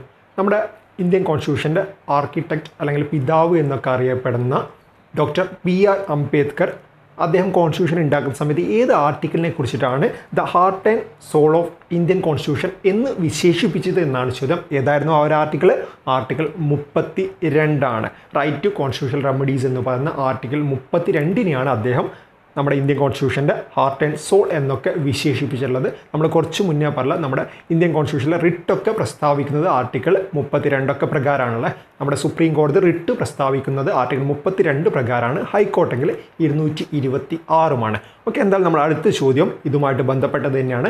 അതുകൊണ്ട് അതിന്റെ ആ ഡെഫിനിഷൻ കാര്യങ്ങളൊക്കെ ആ ഒരു ചോദ്യത്തിൽ നമുക്ക് അങ്ങോട്ട് പോകും നമുക്ക് എന്തായാലും ഇരുപത്തി ഒൻപതാമത്തെ ചോദ്യം നോക്കാം. Which fundamental right in the Indian constitution allows citizen to move the court if they believe that any of their fundamental rights have been violated by the state. എന്താണ് കാര്യം? നമ്മുടെ ഏതെങ്കിലും രീതിയിലുള്ള ഫണ്ടമെന്റൽ റൈറ്റ്സ് ആറ് ഫണ്ടമെന്റൽ റൈറ്റ്സ് ഉണ്ടല്ലേ? ഏതെങ്കിലും രീതിയിലുള്ള fundamental rights നമുക്ക് വയലേറ്റ് ചെയ്യപ്പെട്ടു എന്ന് തോന്നുകയാണെങ്കിൽ നമുക്ക് കോടതിയെ സമീപിക്കുകയും വേണ്ട നീതി നേടിയെടുക്കാനുള്ള കാര്യങ്ങൾ പറയുന്നത് റൈറ്റ് ടു കോൺസ്റ്റിറ്റ്യൂഷണൽ റെമഡീസ് പ്രകാരമാണ്. ആർട്ടിക്കിൾ മുപ്പത്തി രണ്ട് പ്രകാരം റൈറ്റ് ടു കോൺസ്റ്റിറ്റ്യൂഷണൽ റെമഡീസ് എന്നാണ് ഇതിനെ അറിയപ്പെടുന്നത്. ഓർത്തുവെക്കണം നമ്മൾ കുറച്ച് മുന്നേ പറഞ്ഞില്ല. ദ ഹാർട്ട് ആൻഡ് സോൾ എന്ന് ഡോക്ടർ ബി ആർ അംബേദ്കർ വിളിച്ചുള്ള അതേ ആർട്ടിക്കിളുമായിട്ട് ബന്ധപ്പെട്ട കാര്യം തന്നെയാണ് നമ്മളിവിടെ പറഞ്ഞത്. നമ്മുടെ റൈറ്റ് ടു കോൺസ്റ്റിറ്റ്യൂഷണൽ റെമഡീസ് എന്നുള്ള ഏതെങ്കിലും രീതിയിലുള്ള ഫണ്ടമെന്റൽ റൈറ്റ്സ് അതായത് നമ്മുടെ റൈറ്റ് ടു റിലീജിയൻ അതുപോലെ തന്നെ റൈറ്റ് ടു ഫ്രീഡം ആ രീതിയിലുള്ള കാര്യങ്ങളൊക്കെ ഉണ്ട്. അതിൽ ഏതെങ്കിലുമൊക്കെ നമുക്ക് നിഷേധിക്കപ്പെടുന്നു എന്ന് വന്നു കഴിഞ്ഞാൽ നമുക്ക് കോടതിയെ സമീപിക്കാൻ പറ്റും. അതുമായിട്ട് ബന്ധപ്പെട്ട സ്റ്റേയും കാര്യങ്ങളൊക്കെ നമുക്ക് എന്തായാലും നേടിയെടുക്കാൻ പറ്റും. ഓക്കെ? ആ ഒരു കാര്യം ഇമ്പോർട്ടന്റ് ആയിട്ടൊന്ന് ഓർത്തു വയ്ക്കണം അടുത്ത ചോദ്യം എന്താണ്? Constituent assembly of India was founded in the year എന്താണ് കാര്യം? ഏത് വർഷമാണ് നമ്മുടെ കോൺസ്റ്റിറ്റ്യൂന്റ് അസംബ്ലി ഫോം ചെയ്തത് എന്നാണ് ചോദ്യം. ഏത് വർഷമാണ്? ആയിരത്തി തൊള്ളായിരത്തി നാൽപ്പത്തി ആറിലാണ് ആയിരത്തി തൊള്ളായിരത്തി നാൽപ്പത്തി ആറിലാണ് നമ്മുടെ കോൺസ്റ്റിറ്റ്യൂന്റ് അസംബ്ലി ഫോം ചെയ്യുന്നത്. കോൺസ്റ്റിറ്റ്യൂന്റ് അസംബ്ലി ഫോം ചെയ്തതായിട്ട് ബന്ധപ്പെട്ട ഒരു സെപ്പറേറ്റ് ഹിസ്റ്ററി തന്നെ നമുക്ക് പഠിക്കാനുണ്ട്. അത് നമ്മുടെ ഇന്ത്യൻ പൊളിറ്റിയിൽ വളരെ വളരെ ക്രിസ്റ്റൽ ക്ലിയർ ആയിട്ട് നമ്മൾ ഡിസ്കസ് ചെയ്യേണ്ടതല്ല. എന്തായാലും ഓർത്ത് വയ്ക്കുക ആയിരത്തി തൊള്ളായിരത്തി നാൽപ്പത്തി ആറിലാണ് നമ്മുടെ ഇന്ത്യയിൽ കോൺസ്റ്റിറ്റ്യൂഷൻ അസംബ്ലി ഇന്ത്യയ്ക്ക് ഒരു കോൺസ്റ്റിറ്റ്യൂഷൻ വേണമെന്ന് പറഞ്ഞുകൊണ്ട് കോൺസ്റ്റിറ്റ്യൂഷൻ ഫോം ചെയ്യാൻ വേണ്ടിയിട്ട് ഒരു കോൺസ്റ്റിറ്റ്യൂഷൻ അസംബ്ലി ഫോം ചെയ്തിട്ടുള്ളത്. ആ ഒരു ഫാക്റ്റും ഇമ്പോർട്ടന്റ് ആയിട്ട് ഓർത്തു വയ്ക്കാം ഓക്കെ എന്തൊക്കെയായിരുന്നു നമ്മുടെ ചോദ്യം? Controller and auditor general of India is appointed for how many years എത്രയാണ്? ആറ് വർഷത്തേക്കാണ്. How many times a person can be elected as a president of India എത്രയാണ്? No bar no limit limit ഒന്നുമില്ല. എത്ര തവണ വേണമെങ്കിലും എലക്ട് ചെയ്യപ്പെടാൻ പറ്റും. ആ ഒരു മിനിമം ക്വാളിഫിക്കേഷൻ സാറ്റിസ്ഫൈ ചെയ്യണം എന്ന് മാത്രമേ ഉള്ളൂ. Which article was refer to as the heart and soul of the constitution by doctor B R Ambedkar ഏതാണ്? ആർട്ടിക്കിൾ തേർട്ടി ടു ആണല്ലേ ഇരുപത്തി ഒൻപതാമത്തെ ചോദ്യം എന്താണ്? Which fundamental right in Indian constitution allow citizen to move the court if they believe that any of their fundamental rights have been violated by the state ഏതാണ്? Right to constitutional remedies ആണ്. അതുപോലെ മുപ്പതാമത്തെ ചോദ്യം എന്താണ്? Constituent assembly of India was founded in the year ഏത് വർഷമാണ്? ആയിരത്തി തൊള്ളായിരത്തി നാൽപ്പത്തി ആറിലാണ് നമ്മുടെ കോൺസ്റ്റിറ്റ്യൂൺ അസംബ്ലി നിലവിൽ വന്നിട്ടുള്ളത്. ഓക്കെ ഇത്രയും കാര്യങ്ങൾ ഈ ഒരു സെറ്റിൽ ഓർത്തു വയ്ക്കാം നമുക്ക് എന്തായാലും അടുത്ത അഞ്ച് സെറ്റ് ചോദ്യങ്ങൾ നോക്കാം. മുപ്പത്തി ഒന്ന് മുതൽ മുപ്പത്തി അഞ്ച് വരെയാണ് അടുത്ത ചോദ്യങ്ങൾ. മുപ്പത്തി ഒന്നാമത്തെ ചോദ്യം നമുക്ക് ആദ്യം പരിശോധിക്കാം. എന്താണ് ചോദ്യം? Trade unions is listed in the dash list given in the seventh schedule of the constitution of India എന്താണ് കാര്യം? നമ്മുടെ ഇന്ത്യൻ കോൺസ്റ്റിറ്റ്യൂഷനിലെ ലിസ്റ്റുകളെ പറ്റിയുള്ള ചോദ്യമാണല്ലേ? നമ്മൾ ഓൾറെഡി ഇന്ത്യൻ പൊളിറ്റിയുടെ ക്ലാസ്സിൽ ഒരു സെപ്പറേറ്റ് ക്ലാസ് ആയിട്ട് തന്നെ ലിസ്റ്റുകളെ പറ്റി പറഞ്ഞായിരുന്നു. എന്തൊക്കെയാണ് നമ്മുടെ ഇന്ത്യൻ കോൺസ്റ്റിറ്റ്യൂഷനായിട്ട് ബന്ധപ്പെട്ട പ്രധാനപ്പെട്ട ലിസ്റ്റുകൾ മൂന്ന് ലിസ്റ്റുകളാണുള്ളത് state list union list concurrent list എന്തൊക്കെയായിരുന്നു ഈ കാര്യങ്ങൾ? സ്റ്റേറ്റ് ലിസ്റ്റ് എന്ന് പറഞ്ഞാൽ സ്റ്റേറ്റുമായിട്ട് ബന്ധപ്പെട്ട കാര്യങ്ങൾ വരുന്നതാണ് സ്റ്റേറ്റ് ലിസ്റ്റ് അതിൽ ഇടപെടാനുള്ള അധികാരം സംസ്ഥാന സർക്കാരിന് മാത്രമാണ്. അതുപോലെ തന്നെ യൂണിയൻ ലിസ്റ്റ് വരുന്ന സമയത്ത് യൂണിയൻ ഗവൺമെന്റ് സെൻട്രൽ ഗവൺമെന്റാണ് അതുമായിട്ട് ബന്ധപ്പെട്ട കാര്യങ്ങൾ മാറ്റം വരുത്താനൊക്കെ അധികാരം. എങ്കിൽ കൺകറൻ ലിസ്റ്റ് വരുന്ന സമയത്ത് ആ ഒരു ലിസ്റ്റ് വരുന്ന കാര്യങ്ങളിൽ മാറ്റം വരുത്താൻ വേണ്ടിയിട്ട് രണ്ടു പേർക്കും സ്റ്റേറ്റിനും യൂണിയനും ഒരുപോലെ അധികാരമുണ്ട്. ആ രീതിയിൽ ഏത് ലിസ്റ്റിൽ വരുന്നു എന്ന രീതിയിൽ പലപ്പോഴും പി എസ് സിയും R R B S T C ഒക്കെ ചോദ്യങ്ങൾ വന്നിട്ടുണ്ട്. അങ്ങനെ വന്നിട്ടുള്ള ചോദ്യങ്ങളാണ് നമ്മൾ പരിശോധിക്കുന്നത്. ആദ്യം വന്ന ചോദ്യം എന്താണെന്ന് വെച്ചാൽ ട്രേഡ് യൂണിയൻ ഇതിൽ പറയുന്ന ഈ മൂന്ന് ലിസ്റ്റിൽ ഏത് ലിസ്റ്റാണ് വരുന്നത് എന്ന രീതിയിലാണ് ആദ്യം വന്നിട്ടുള്ളത്. ഏത് ലിസ്റ്റിലാണ് കൺകരൻ ലിസ്റ്റാണ് കൺകരൻ ലിസ്റ്റ് എന്ന് പറയുമ്പം നമ്മുടെ സംസ്ഥാന സർക്കാരിനും അതുപോലെ തന്നെ യൂണിയൻ ഗവൺമെന്റും രണ്ടുപേർക്കും ഒരുപോലെ ഇടപെടാൻ പറ്റുന്ന കാര്യമാണ്. കൺകറൻ ലിസ്റ്റിൽ വരുന്നത്. കൺകറന്റ് ലിസ്റ്റിലാണ് ട്രേഡ് യൂണിയനുമായിട്ട് ബന്ധപ്പെട്ട കാര്യങ്ങൾ വരുന്നത്. അത് ഇമ്പോർട്ടന്റ് ആയിട്ട് തന്നെ ഒന്ന് ഓർത്തു വയ്ക്കുക അടുത്ത ചോദ്യം എന്താണ്? Forest is listed in the dash list given in the seventh schedule in the constitution of India same model ചോദ്യം തന്നെയാണല്ലേ? അതായത് നമ്മൾ കഴിഞ്ഞ മുപ്പത്തി ഒന്നാമത് ചോദ്യത്തിൽ ട്രേഡ് യൂണിയൻ ഏത് ലിസ്റ്റ് വരുന്നു എന്നാണെങ്കിൽ ഇവിടെ സിമ്പിളായിട്ട് പറയുകയാണെങ്കിൽ ഫോറസ്റ്റ് നമ്മുടെ സെവൻത്ത് ഷെഡ്യൂളിലെ ലിസ്റ്റ് പ്രകാരം ഏത് ലിസ്റ്റിൽ വരുന്നു എന്നാണ്. ഫോറസ്റ്റുമായിട്ട് ബന്ധപ്പെട്ട കാര്യങ്ങൾ വരുന്ന ലിസ്റ്റ് ഏതാണ്? സ്റ്റേറ്റ് ലിസ്റ്റ് ആണോ? യൂണിയൻ ആണോ? രണ്ടും വരുന്നുണ്ടല്ലേ? അതായത് കൺകറൻ ലിസ്റ്റാണ് നമ്മുടെ ഫോറസ്റ്റുമായിട്ട് ബന്ധപ്പെട്ട കാര്യങ്ങൾ പരാമർശിക്കുന്നത്. ഓർത്തു വയ്ക്കണം ട്രേഡ് യൂണിയൻ ആയാലും ഫോറസ്റ്റ് ആയാലും ഇതൊക്കെ പരീക്ഷയിൽ വന്നിട്ടുണ്ട് ഫോറസ്റ്റൊക്കെ ഒരുപാട് തവണ നമ്മുടെ പി എസ് സി ഒക്കെ ആവർത്തിച്ച് ചോദിച്ചിട്ടുണ്ട്. എസ് എസ് സി എല്ലാ പരീക്ഷകളിലും വന്നിട്ടുണ്ട്. എന്തായാലും ഓർത്ത് വയ്ക്കണം ഫോറസ്റ്റ് ആയാലും ട്രേഡ് യൂണിയൻ ആയാലും രണ്ടും വരുന്നത് നമ്മുടെ കൺകറൻ ലിസ്റ്റിന്റെ അണ്ടറിലാണ്. ഓക്കെ അടുത്ത ചോദ്യം എന്താണ്? Which fundamental right in the Indian constitution includes abolition of untouchability എന്താണ് കാര്യം? നമ്മുടെ ഇന്ത്യൻ കോൺസ്റ്റിറ്റ്യൂഷനിൽ ഏത് ഫണ്ടമെന്റൽ റൈറ്റ് പ്രകാരമാണ് അൺടച്ചബിലിറ്റി തൊട്ടുകൂടായ്മ ഉണ്ടല്ലോ ആർട്ടിക്കിൾ സെവനിന് ആ ഒരു കാര്യം അപ്പോളിഷ് ചെയ്യുന്ന എന്നാണ് ചോദ്യം. ഏതാണ് fundamental right right to equality untouchability എന്തായിരുന്നു? നമ്മുടെ മുന്നേ കാലത്ത് ഈ ഒരു ഇന്ത്യയിൽ നിലനിന്ന് വന്നിരുന്ന ഒരു കാര്യമായിരുന്നില്ല അൺടച്ചബിലിറ്റി തൊട്ടുകൂടായ്മ തീണ്ടിക്കൂടായ്മ എന്നൊക്കെ പറയും. ഓക്കെ അതൊക്കെ ഒഴിവാക്കാൻ വേണ്ടിയിട്ട് ഒരുപാട് പ്രവർത്തിച്ച ആളുകളുണ്ടായിരുന്നു ഗാന്ധിജിയൊക്കെ അൺടച്ചബിലിറ്റിക്കെതിരായിട്ട് ശക്തമായിട്ട് പോരാടിയിട്ടുണ്ടായിരുന്നു. അതിന്റെ ഭാഗമായിട്ട് അൺടച്ചബിലിറ്റി നിരോധിച്ചിട്ടുണ്ട്. ആർട്ടിക്കിൾ സെവന്റീൻ പ്രകാരമാണ് അൺടച്ചബിലിറ്റി ഇന്ത്യയിൽ നിന്നും അബോളിഷ് ചെയ്തത്. ഇത് പല രീതിയിൽ പരീക്ഷയിൽ വന്നിട്ടുണ്ട്. അതായത് ഇതുമായിട്ട് ബന്ധപ്പെട്ട ആർട്ടിക്കിളൊക്കെ ചോദിച്ചിട്ടുണ്ട്. മഹാത്മാഗാന്ധിക്ക് ജയ് എന്ന് പറഞ്ഞ് പാസ്സാക്കിയ ആർട്ടിക്കിൾ ഏത് എന്ന രീതിയിലൊക്കെ ചോദ്യം വന്നിട്ടുണ്ട്. അത് ആർട്ടിക്കിൾ സെവന്റീൻ ആണ്. ആർട്ടിക്കിൾ സെവന്റീൻ എന്തുമായിട്ട് ബന്ധപ്പെട്ടിരിക്കുന്നു? അബോളിഷൻ ഓഫ് അൺടച്ചബിലിറ്റി നമ്മളോട് ഇവിടെ ചോദിച്ചുള്ളത് ഈ ഒരു അൺടച്ചബിലിറ്റി നമ്മുടെ ഏത് ഫണ്ടമെന്റൽ റൈറ്റ് ആണെന്നാണ് ചോദ്യം വന്നുള്ളത് നമുക്കറിയാം ഫണ്ടമെന്റൽ റൈറ്റിൽ റൈറ്റ് ടു ഈക്വാലിറ്റിയിലാണ് ആർട്ടിക്കിൾ സെവന്റീൻ ഒക്കെ വരുന്നതല്ല അതായത് അൺടച്ചബിലിറ്റി അബോളിഷ് ചെയ്യുന്നത് ആർട്ടിക്കിൾ സെവന്റീനിൽ നമ്മുടെ റൈറ്റ് ടു ഈക്വാലിറ്റി നമുക്ക് എല്ലാ രീതിയിലും സമത്വം വേണം എന്ന് പറഞ്ഞുകൊണ്ടാണ് ഈ ഒരു ആർട്ടിക്കിൾ വരുന്നത്. എന്തായാലും ഓർത്ത് വയ്ക്കണം നമ്മുടെ റൈറ്റ് ഏതാണെന്ന് ചോദ്യം വന്നു കഴിഞ്ഞാൽ എന്താണ് വരിക? റൈറ്റ് ടു ഈക്വാലിറ്റി അടുത്ത ചോദ്യം എന്താണ്? Population control and family planning is listed in the dash list given in the seventh schedule in the constitution of India നമ്മൾ കുറച്ച് മുന്നേ പറഞ്ഞ അതേ പാറ്റേൺ തന്നെ ഉത്തരവും അത് തന്നെയാണ്. കൺകറൻ ലിസ്റ്റിൽ വരുന്നതാണ് നമ്മുടെ പോപ്പുലേഷൻ കൺട്രോൾ ആൻഡ് ഫാമിലി പ്ലാനിങ്ങുമായിട്ട് ബന്ധപ്പെട്ട കാര്യങ്ങൾ. അതുകൊണ്ട് നമ്മൾ ഈ ഒരു അഞ്ച് ചോദ്യങ്ങളിൽ നിന്നും മൂന്ന് ചോദ്യങ്ങൾ കൺകറൻ ലിസ്റ്റുമായിട്ട് ബന്ധപ്പെട്ടത് മാത്രം പഠിച്ചു കഴിഞ്ഞല്ല ഇതൊക്കെയായിരുന്നു ട്രേഡ് യൂണിയൻസ് വരുന്നത്. നമ്മുടെ സെവൻത്ത് ഷെഡ്യൂളിൽ state list union list concurrent list ഈ മൂന്ന് ലിസ്റ്റിൽ കൺകറൻ ലിസ്റ്റാണ് ട്രേഡ് യൂണിയൻസും ഫോറസ്റ്റും population control and family planning മൂന്ന് കാര്യങ്ങൾ വരുന്നില്ല ഈ മൂന്ന് കാര്യങ്ങൾ ഇപ്പോൾ തന്നെ അവിടെ പഠിച്ചു വെക്കുക. ഇതൊക്കെ പലതവണ റിപ്പീറ്റായിട്ട് വന്നിട്ടുണ്ട്. ഇനി അങ്ങോട്ട് നമ്മൾ മറ്റുള്ള കാര്യങ്ങളും എന്തായാലും പരിശോധിക്കുന്നതായിരിക്കും. ഓക്കെ മുപ്പത്തി അഞ്ചാമത്തെ ചോദ്യം എന്താണ്? ഡാഷ് ആമൻസ് ദ കോൺസ്റ്റിറ്റ്യൂഷൻ എന്താണ് ചോദ്യം? ഡാഷ് അമെൻസ് ദ കോൺസ്റ്റിറ്റ്യൂഷനിൽ എന്താണ് നമ്മുടെ ഇന്ത്യൻ കോൺസ്റ്റിറ്റ്യൂഷൻ അമെൻ ചെയ്യുന്നത്? അല്ലെങ്കിൽ ആർക്കാണ് ഇന്ത്യൻ കോൺസ്റ്റിറ്റ്യൂഷൻ അമെൻഡ് ചെയ്യാനുള്ള അധികാരമുള്ളത്? നമ്മുടെ ഇന്ത്യയുടെ പ്രൈം മിനിസ്റ്റർ അല്ലെങ്കിൽ പ്രസിഡന്റ് അവരൊക്കെ ഇൻഡിവിജ്വലായിട്ട് വിചാരിച്ചു കഴിഞ്ഞാൽ നമ്മുടെ ഇന്ത്യൻ കോൺസ്റ്റിറ്റ്യൂഷൻ അമെൻഡ് ചെയ്യാൻ പറ്റുമോ? പറ്റില്ല അല്ലേ? അതായത് നമ്മുടെ ഇന്ത്യൻ കോൺസ്റ്റിറ്റ്യൂഷൻ എന്ന് പറഞ്ഞത് നമ്മൾ ഇനി അങ്ങോട്ടുള്ള എല്ലാ കാലത്തേക്കും വേണ്ടിയിട്ട് പ്രിപ്പയർ ചെയ്തിട്ടുള്ള ഒരു കാര്യമാണല്ലേ? ഇന്ത്യയ്ക്ക് വേണ്ടിയുള്ള കൃത്യമായുള്ള ഭരണഘടന കാര്യങ്ങളൊക്കെ നമ്മൾ എഴുതി വെച്ചിട്ടുള്ളതാണ് നമ്മുടെ ഇന്ത്യൻ കോൺസ്റ്റിറ്റ്യൂഷനിൽ അത് നമുക്ക് യാതൊരു വിധത്തിലും മാറ്റാൻ പറ്റില്ല. പിന്നെന്ത് ചെയ്യാൻ പറ്റും? ഭേദഗതി ചെയ്യാൻ പറ്റും. അതായത് അമൻ ചെയ്യാൻ പറ്റും. ചില കാര്യങ്ങൾ നമുക്ക് ചില ഇൻസ്ട്രക്ഷൻസ് ഒക്കെ വെച്ചുകൊണ്ട് അമൻ ചെയ്യാൻ പറ്റും. ബട്ട് അതും അത്ര സിമ്പിളല്ല ഈ ഒരു അമൻമെന്റ് സാധ്യമാകണമെങ്കിൽ നമ്മുടെ പാർലമെന്റ് ഉണ്ടല്ലോ. നമ്മുടെ പാർലമെന്റിന്റെ അംഗീകാരം വേണം. എങ്കിൽ മാത്രമേ നമുക്ക് ഈ ഒരു ഭേദഗതി നടപ്പിലാക്കാൻ പറ്റും. സിമ്പിളായിട്ട് പറയുകയാണെങ്കിൽ ഇന്ത്യയിൽ കോൺസ്റ്റിറ്റ്യൂഷൻ അമെൻഡ് ചെയ്യണമെങ്കിൽ പാർലമെന്റിന് മാത്രമേ സാധിക്കുകയുള്ളൂ. പാർലമെന്റ് എന്ന് പറയുമ്പോൾ പ്രസിഡന്റ് ലോക്സഭ രാജ്യസഭ. ഇവിടെയൊക്കെ ഡിസ്കസ് ചെയ്ത് ഒരു അന്തിമ തീരുമാനം വന്നു കഴിഞ്ഞാൽ എല്ലാ ബോഡിയും ഒരുപോലെ അംഗീകരിച്ചു കഴിഞ്ഞാൽ മാത്രമേ നമുക്ക് ഇന്ത്യൻ കോൺസ്റ്റിറ്റ്യൂഷനിൽ ഒരു ഭേദഗതി വരുത്താൻ പറ്റുകയുള്ളൂ. അതുകൊണ്ട് നമുക്ക് എന്ത് പറയാം? പാർലമെന്റ് ആമൻസ് ദ കോൺസ്റ്റിറ്റ്യൂഷൻ സിമ്പിളായിട്ട് നമുക്ക് അങ്ങനെ പറയാം. ഓക്കെ ഇതായിരുന്നു അഞ്ച് ചോദ്യങ്ങൾ. നമുക്ക് ജസ്റ്റ് ഒന്നുകൂടെ ചോദ്യവും അതുപോലെ ഉത്തരവും നോക്കാം. മുപ്പത്തി ഒന്നാമത്തെ ചോദ്യം എന്തായിരുന്നു? Trade unions is listed in the dash list given in the seventh schedule of constitution of India ഏതാണ്? കൺകറൻ ലിസ്റ്റ് ആണല്ലേ മുപ്പത്തിരണ്ടാമത്തെ എന്തായിരുന്നു? Forest is listed in the dash list given in the seventh schedule in the constitution of India ഏതാണ്? Concurrent list ആണല്ലേ അതുപോലെ തന്നെ മുപ്പത്തി മൂന്നാമത്തെ ചോദ്യമാണ്.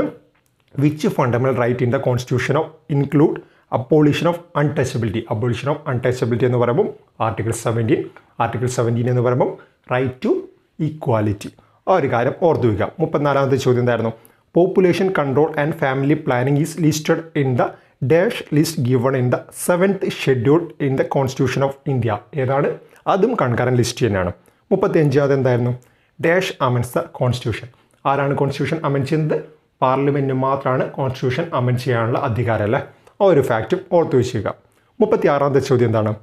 Which of the following article or articles cannot be suspend even during emergency എന്താണ് കാര്യം?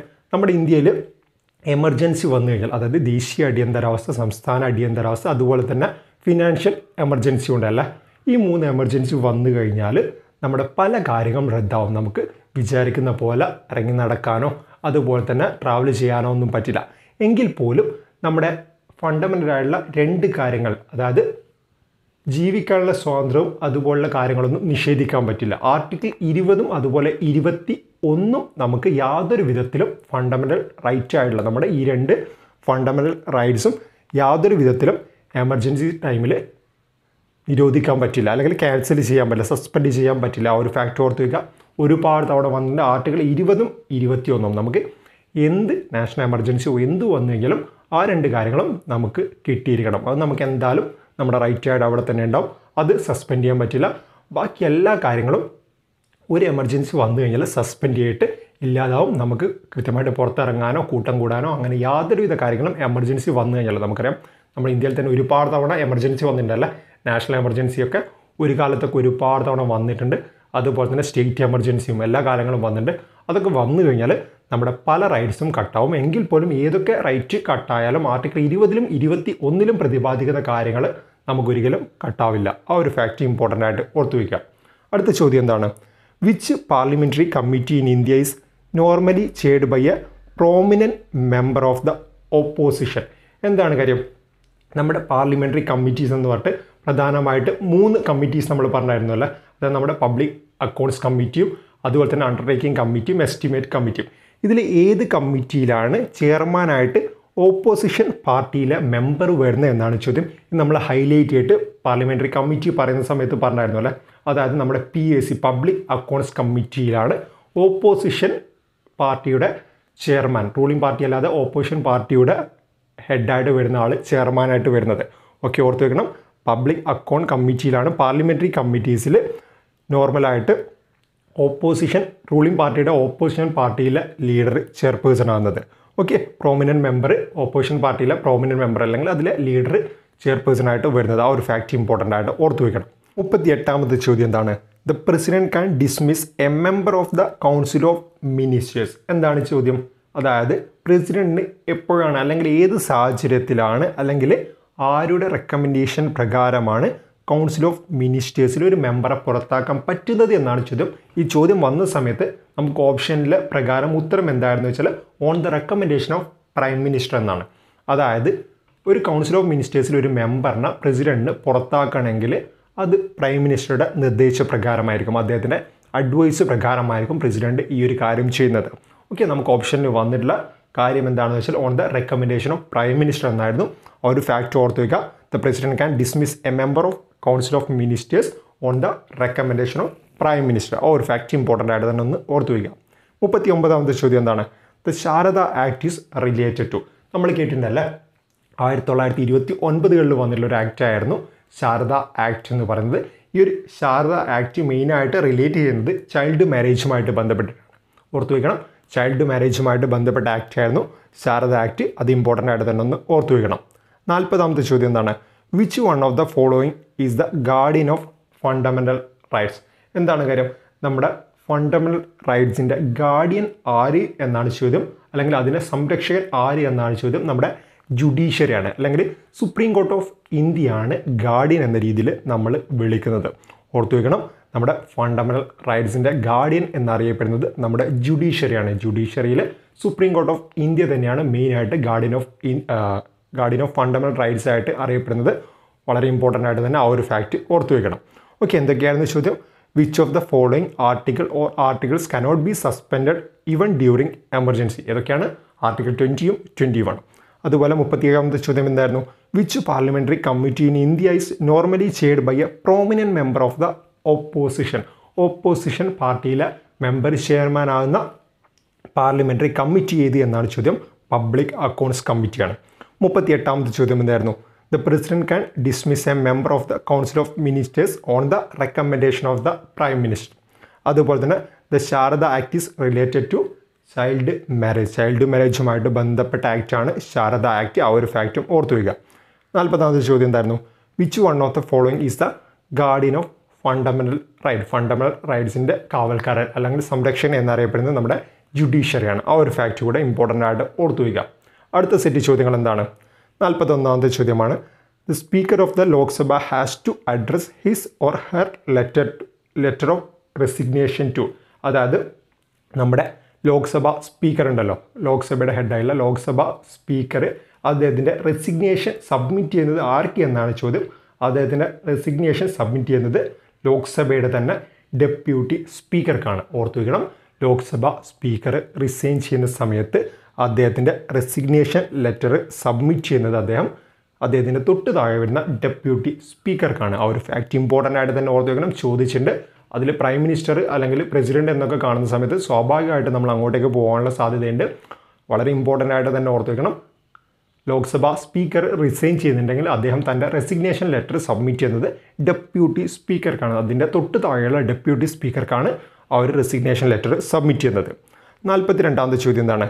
The drafting of the constitution was completed on എന്നാണ് നമ്മുടെ ഇന്ത്യൻ കോൺസ്റ്റിറ്റ്യൂഷന്റെ ഡ്രാഫ്റ്റിംഗ് കംപ്ലീറ്റ് ആയത് എന്നാണ് ചോദ്യം. നമ്മൾ ഡ്രാഫ്റ്റിംഗ് കമ്മിറ്റിയായിട്ട് ബന്ധപ്പെട്ട ഫാക്റ്റൊക്കെ പറയുന്ന സമയത്ത് ക്ലിയർ ആയിട്ട് തന്നെ പറഞ്ഞായിരുന്നു. ആയിരത്തി തൊള്ളായിരത്തി നാൽപ്പത്തി ഒൻപത് നവംബർ ഇരുപത്താറാം തീയതിയായിരുന്നു ഇന്ത്യൻ കോൺസ്റ്റിറ്റ്യൂഷന്റെ ഒരു ഡ്രാഫ്റ്റ് രൂപ നമ്മൾ ആദ്യമായിട്ട് ഫോം ചെയ്തതല്ല. അഡോപ്റ്റഡ് എന്നൊക്കെ പറഞ്ഞ് വിളിക്കുന്ന ഡേറ്റ് ആണ് ആയിരത്തി തൊള്ളായിരത്തി നാൽപ്പത്തി ഒൻപത് നവംബർ ഇരുപത്താറ്.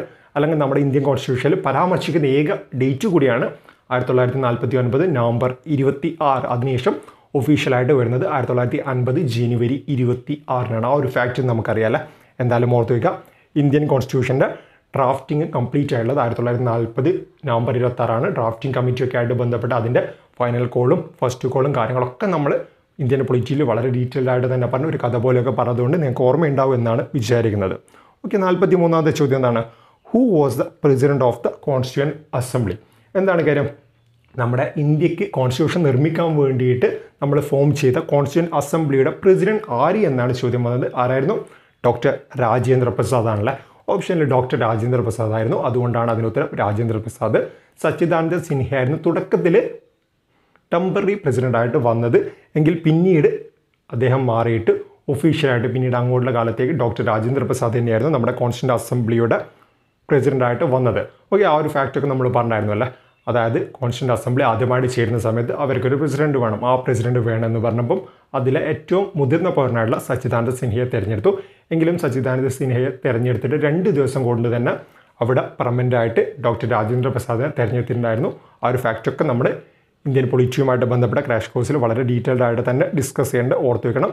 നമ്മുടെ കോൺസ്റ്റിറ്റ്യൂന്റ് അസംബ്ലിയുടെ പ്രസിഡന്റ് ആയിട്ട് നമ്മൾ അംഗീകരിച്ചിട്ടുള്ളത് ഡോക്ടർ രാജേന്ദ്ര പ്രസാദിനെയാണ്. നാൽപ്പത്തി നാലാമത്തെ ചോദ്യം എന്താണ്? Which innovative discussion process is introduced by the Indian parliament to the world parliamentary system എന്താണ് കാര്യം?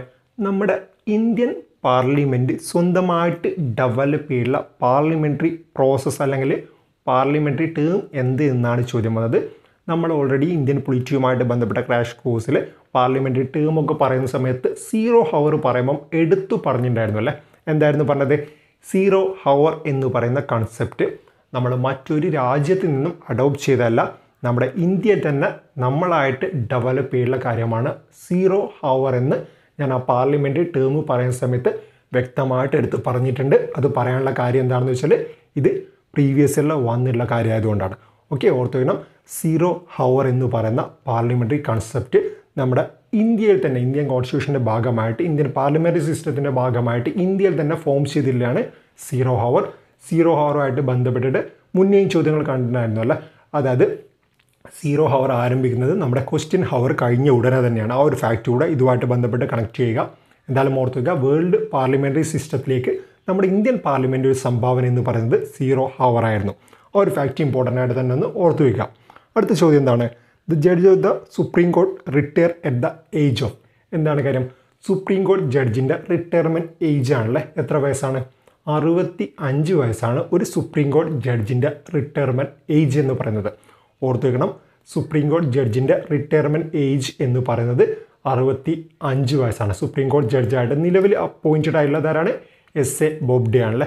അദ്ദേഹത്തിന്റെ പേര് കൂടെ supreme court chief justice sorry supreme കോടതി ജഡ്ജ് അല്ല സുപ്രീം കോടതി ചീഫ് ജസ്റ്റിസ് ആയിട്ട് നിലവിലുള്ളത് എസ് എ ബോബ്ഡെ ആണ്.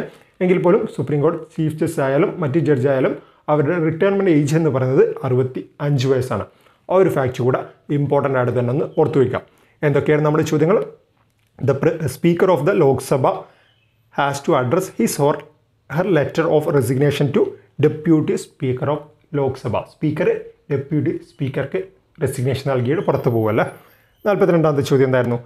The drafting of the constitution was completed on twenty six November nineteen forty nine ആയിരത്തി തൊള്ളായിരത്തി നാൽപ്പത്തി ഒൻപത് നവംബർ ഇരുപത്തി ആറിനായിരുന്നു നമ്മുടെ ഇന്ത്യൻ കോൺസ്റ്റിറ്റ്യൂഷന്റെ ഡ്രാഫ്റ്റിംഗ് ഡോക്ടർ ബി ആർ അംബേദ്കറിന്റെ നേതൃത്വത്തിലുള്ള ടീം സക്സസ്ഫുൾ ആയിട്ട് കംപ്ലീറ്റ് ആക്കിയല്ലേ? ഓക്കെ നാൽപ്പത്തി മൂന്നാമത്തെ ചോദ്യം എന്തായിരുന്നു? Who was the president of the constitution assembly ആരായിരുന്നു? ഡോക്ടർ രാജേന്ദ്ര പ്രസാദ് ആണ് നമ്മുടെ കോൺസ്റ്റിറ്റ്യൻ അസംബ്ലിയുടെ പെർമനന്റ് പ്രസിഡന്റായിട്ട് തിരഞ്ഞെടുക്കപ്പെട്ടത്. ആദ്യം ടെമ്പററി പ്രസിഡന്റായിട്ട് സച്ചിദാനന്ദ സിൻഹ വന്നെങ്കിലും രണ്ട് ദിവസം കൊണ്ട് മാറിയിട്ട് ഡോക്ടർ രാജേന്ദ്ര പ്രസാദ് പെർമനന്റ് പ്രസിഡന്റായിട്ട് വന്നിട്ടുണ്ട്. നാൽപ്പത്തിനാലാമത്തെ ചോദ്യം എന്തായിരുന്നു?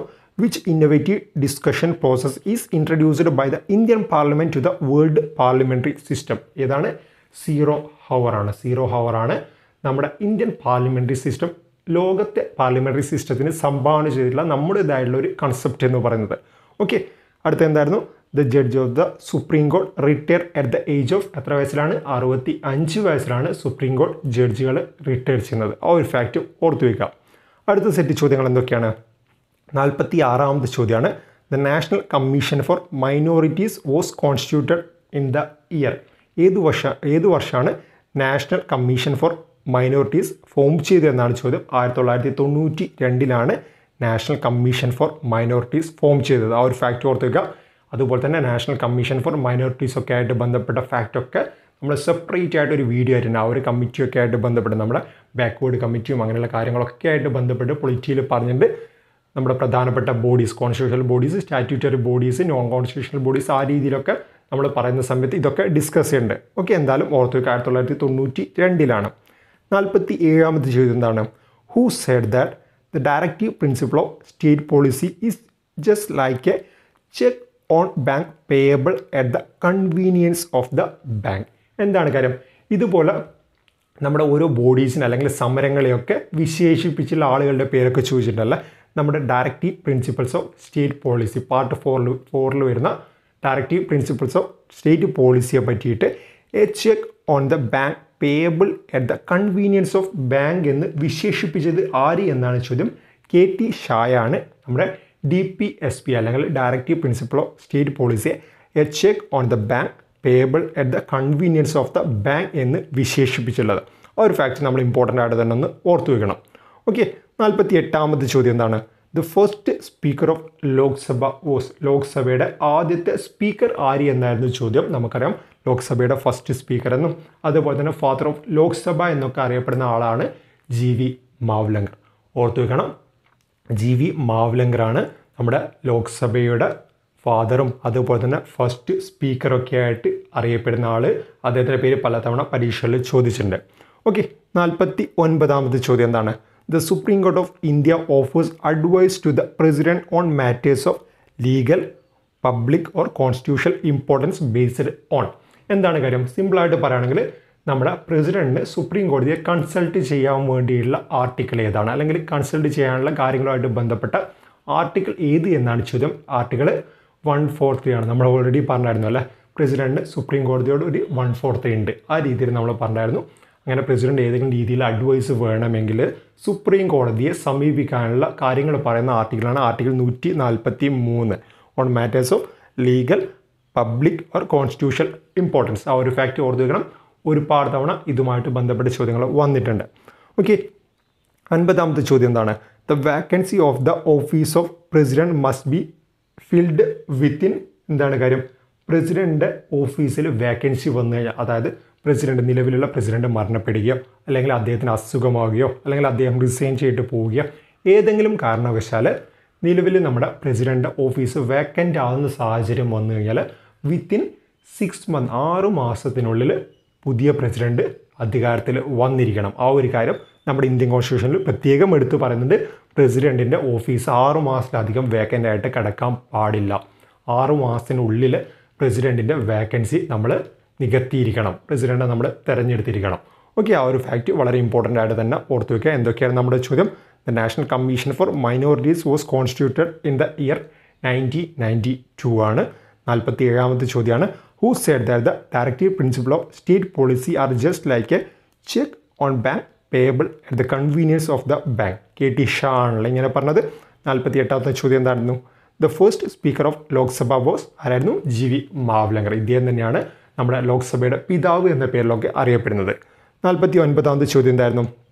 The supreme court of India offers advice to the president on matters of legal public or constitutional importance based on article one four three article നൂറ്റി നാൽപ്പത്തി മൂന്ന് പ്രകാരമാണ് പ്രസിഡന്റിന് സുപ്രീം കോടതിനെ കൺസൾട്ട് ചെയ്യാനുള്ള അധികാരം വരുന്നത്. ഓക്കെ അൻപതാമത്തെ ചോദ്യം എന്തായിരുന്നു?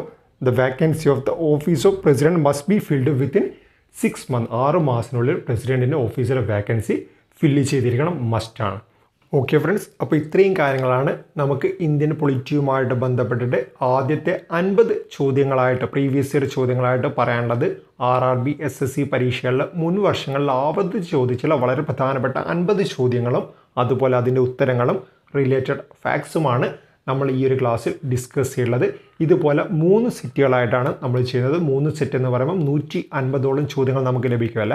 അങ്ങനെ നൂറ്റി അൻപതോളം പൊളിറ്റി പ്രീവിയസ് ഇയർ ചോദ്യങ്ങളും അതിന്റെ ഉത്തരങ്ങളും അതുപോലെ തന്നെ അതിന്റെ റിലേറ്റഡ് ഫാക്ട്സുമായിട്ടായിരിക്കും നമ്മൾ മുന്നോട്ട് പോകുന്നത്. നമുക്ക് എന്തായാലും ഇതിന്റെ അടുത്ത സെറ്റ് അതായത് പാർട്ട് ടൂവുമായിട്ട് നമുക്ക് എന്തായാലും പുതിയൊരു ക്ലാസ്സിൽ കാണാം. താങ്ക്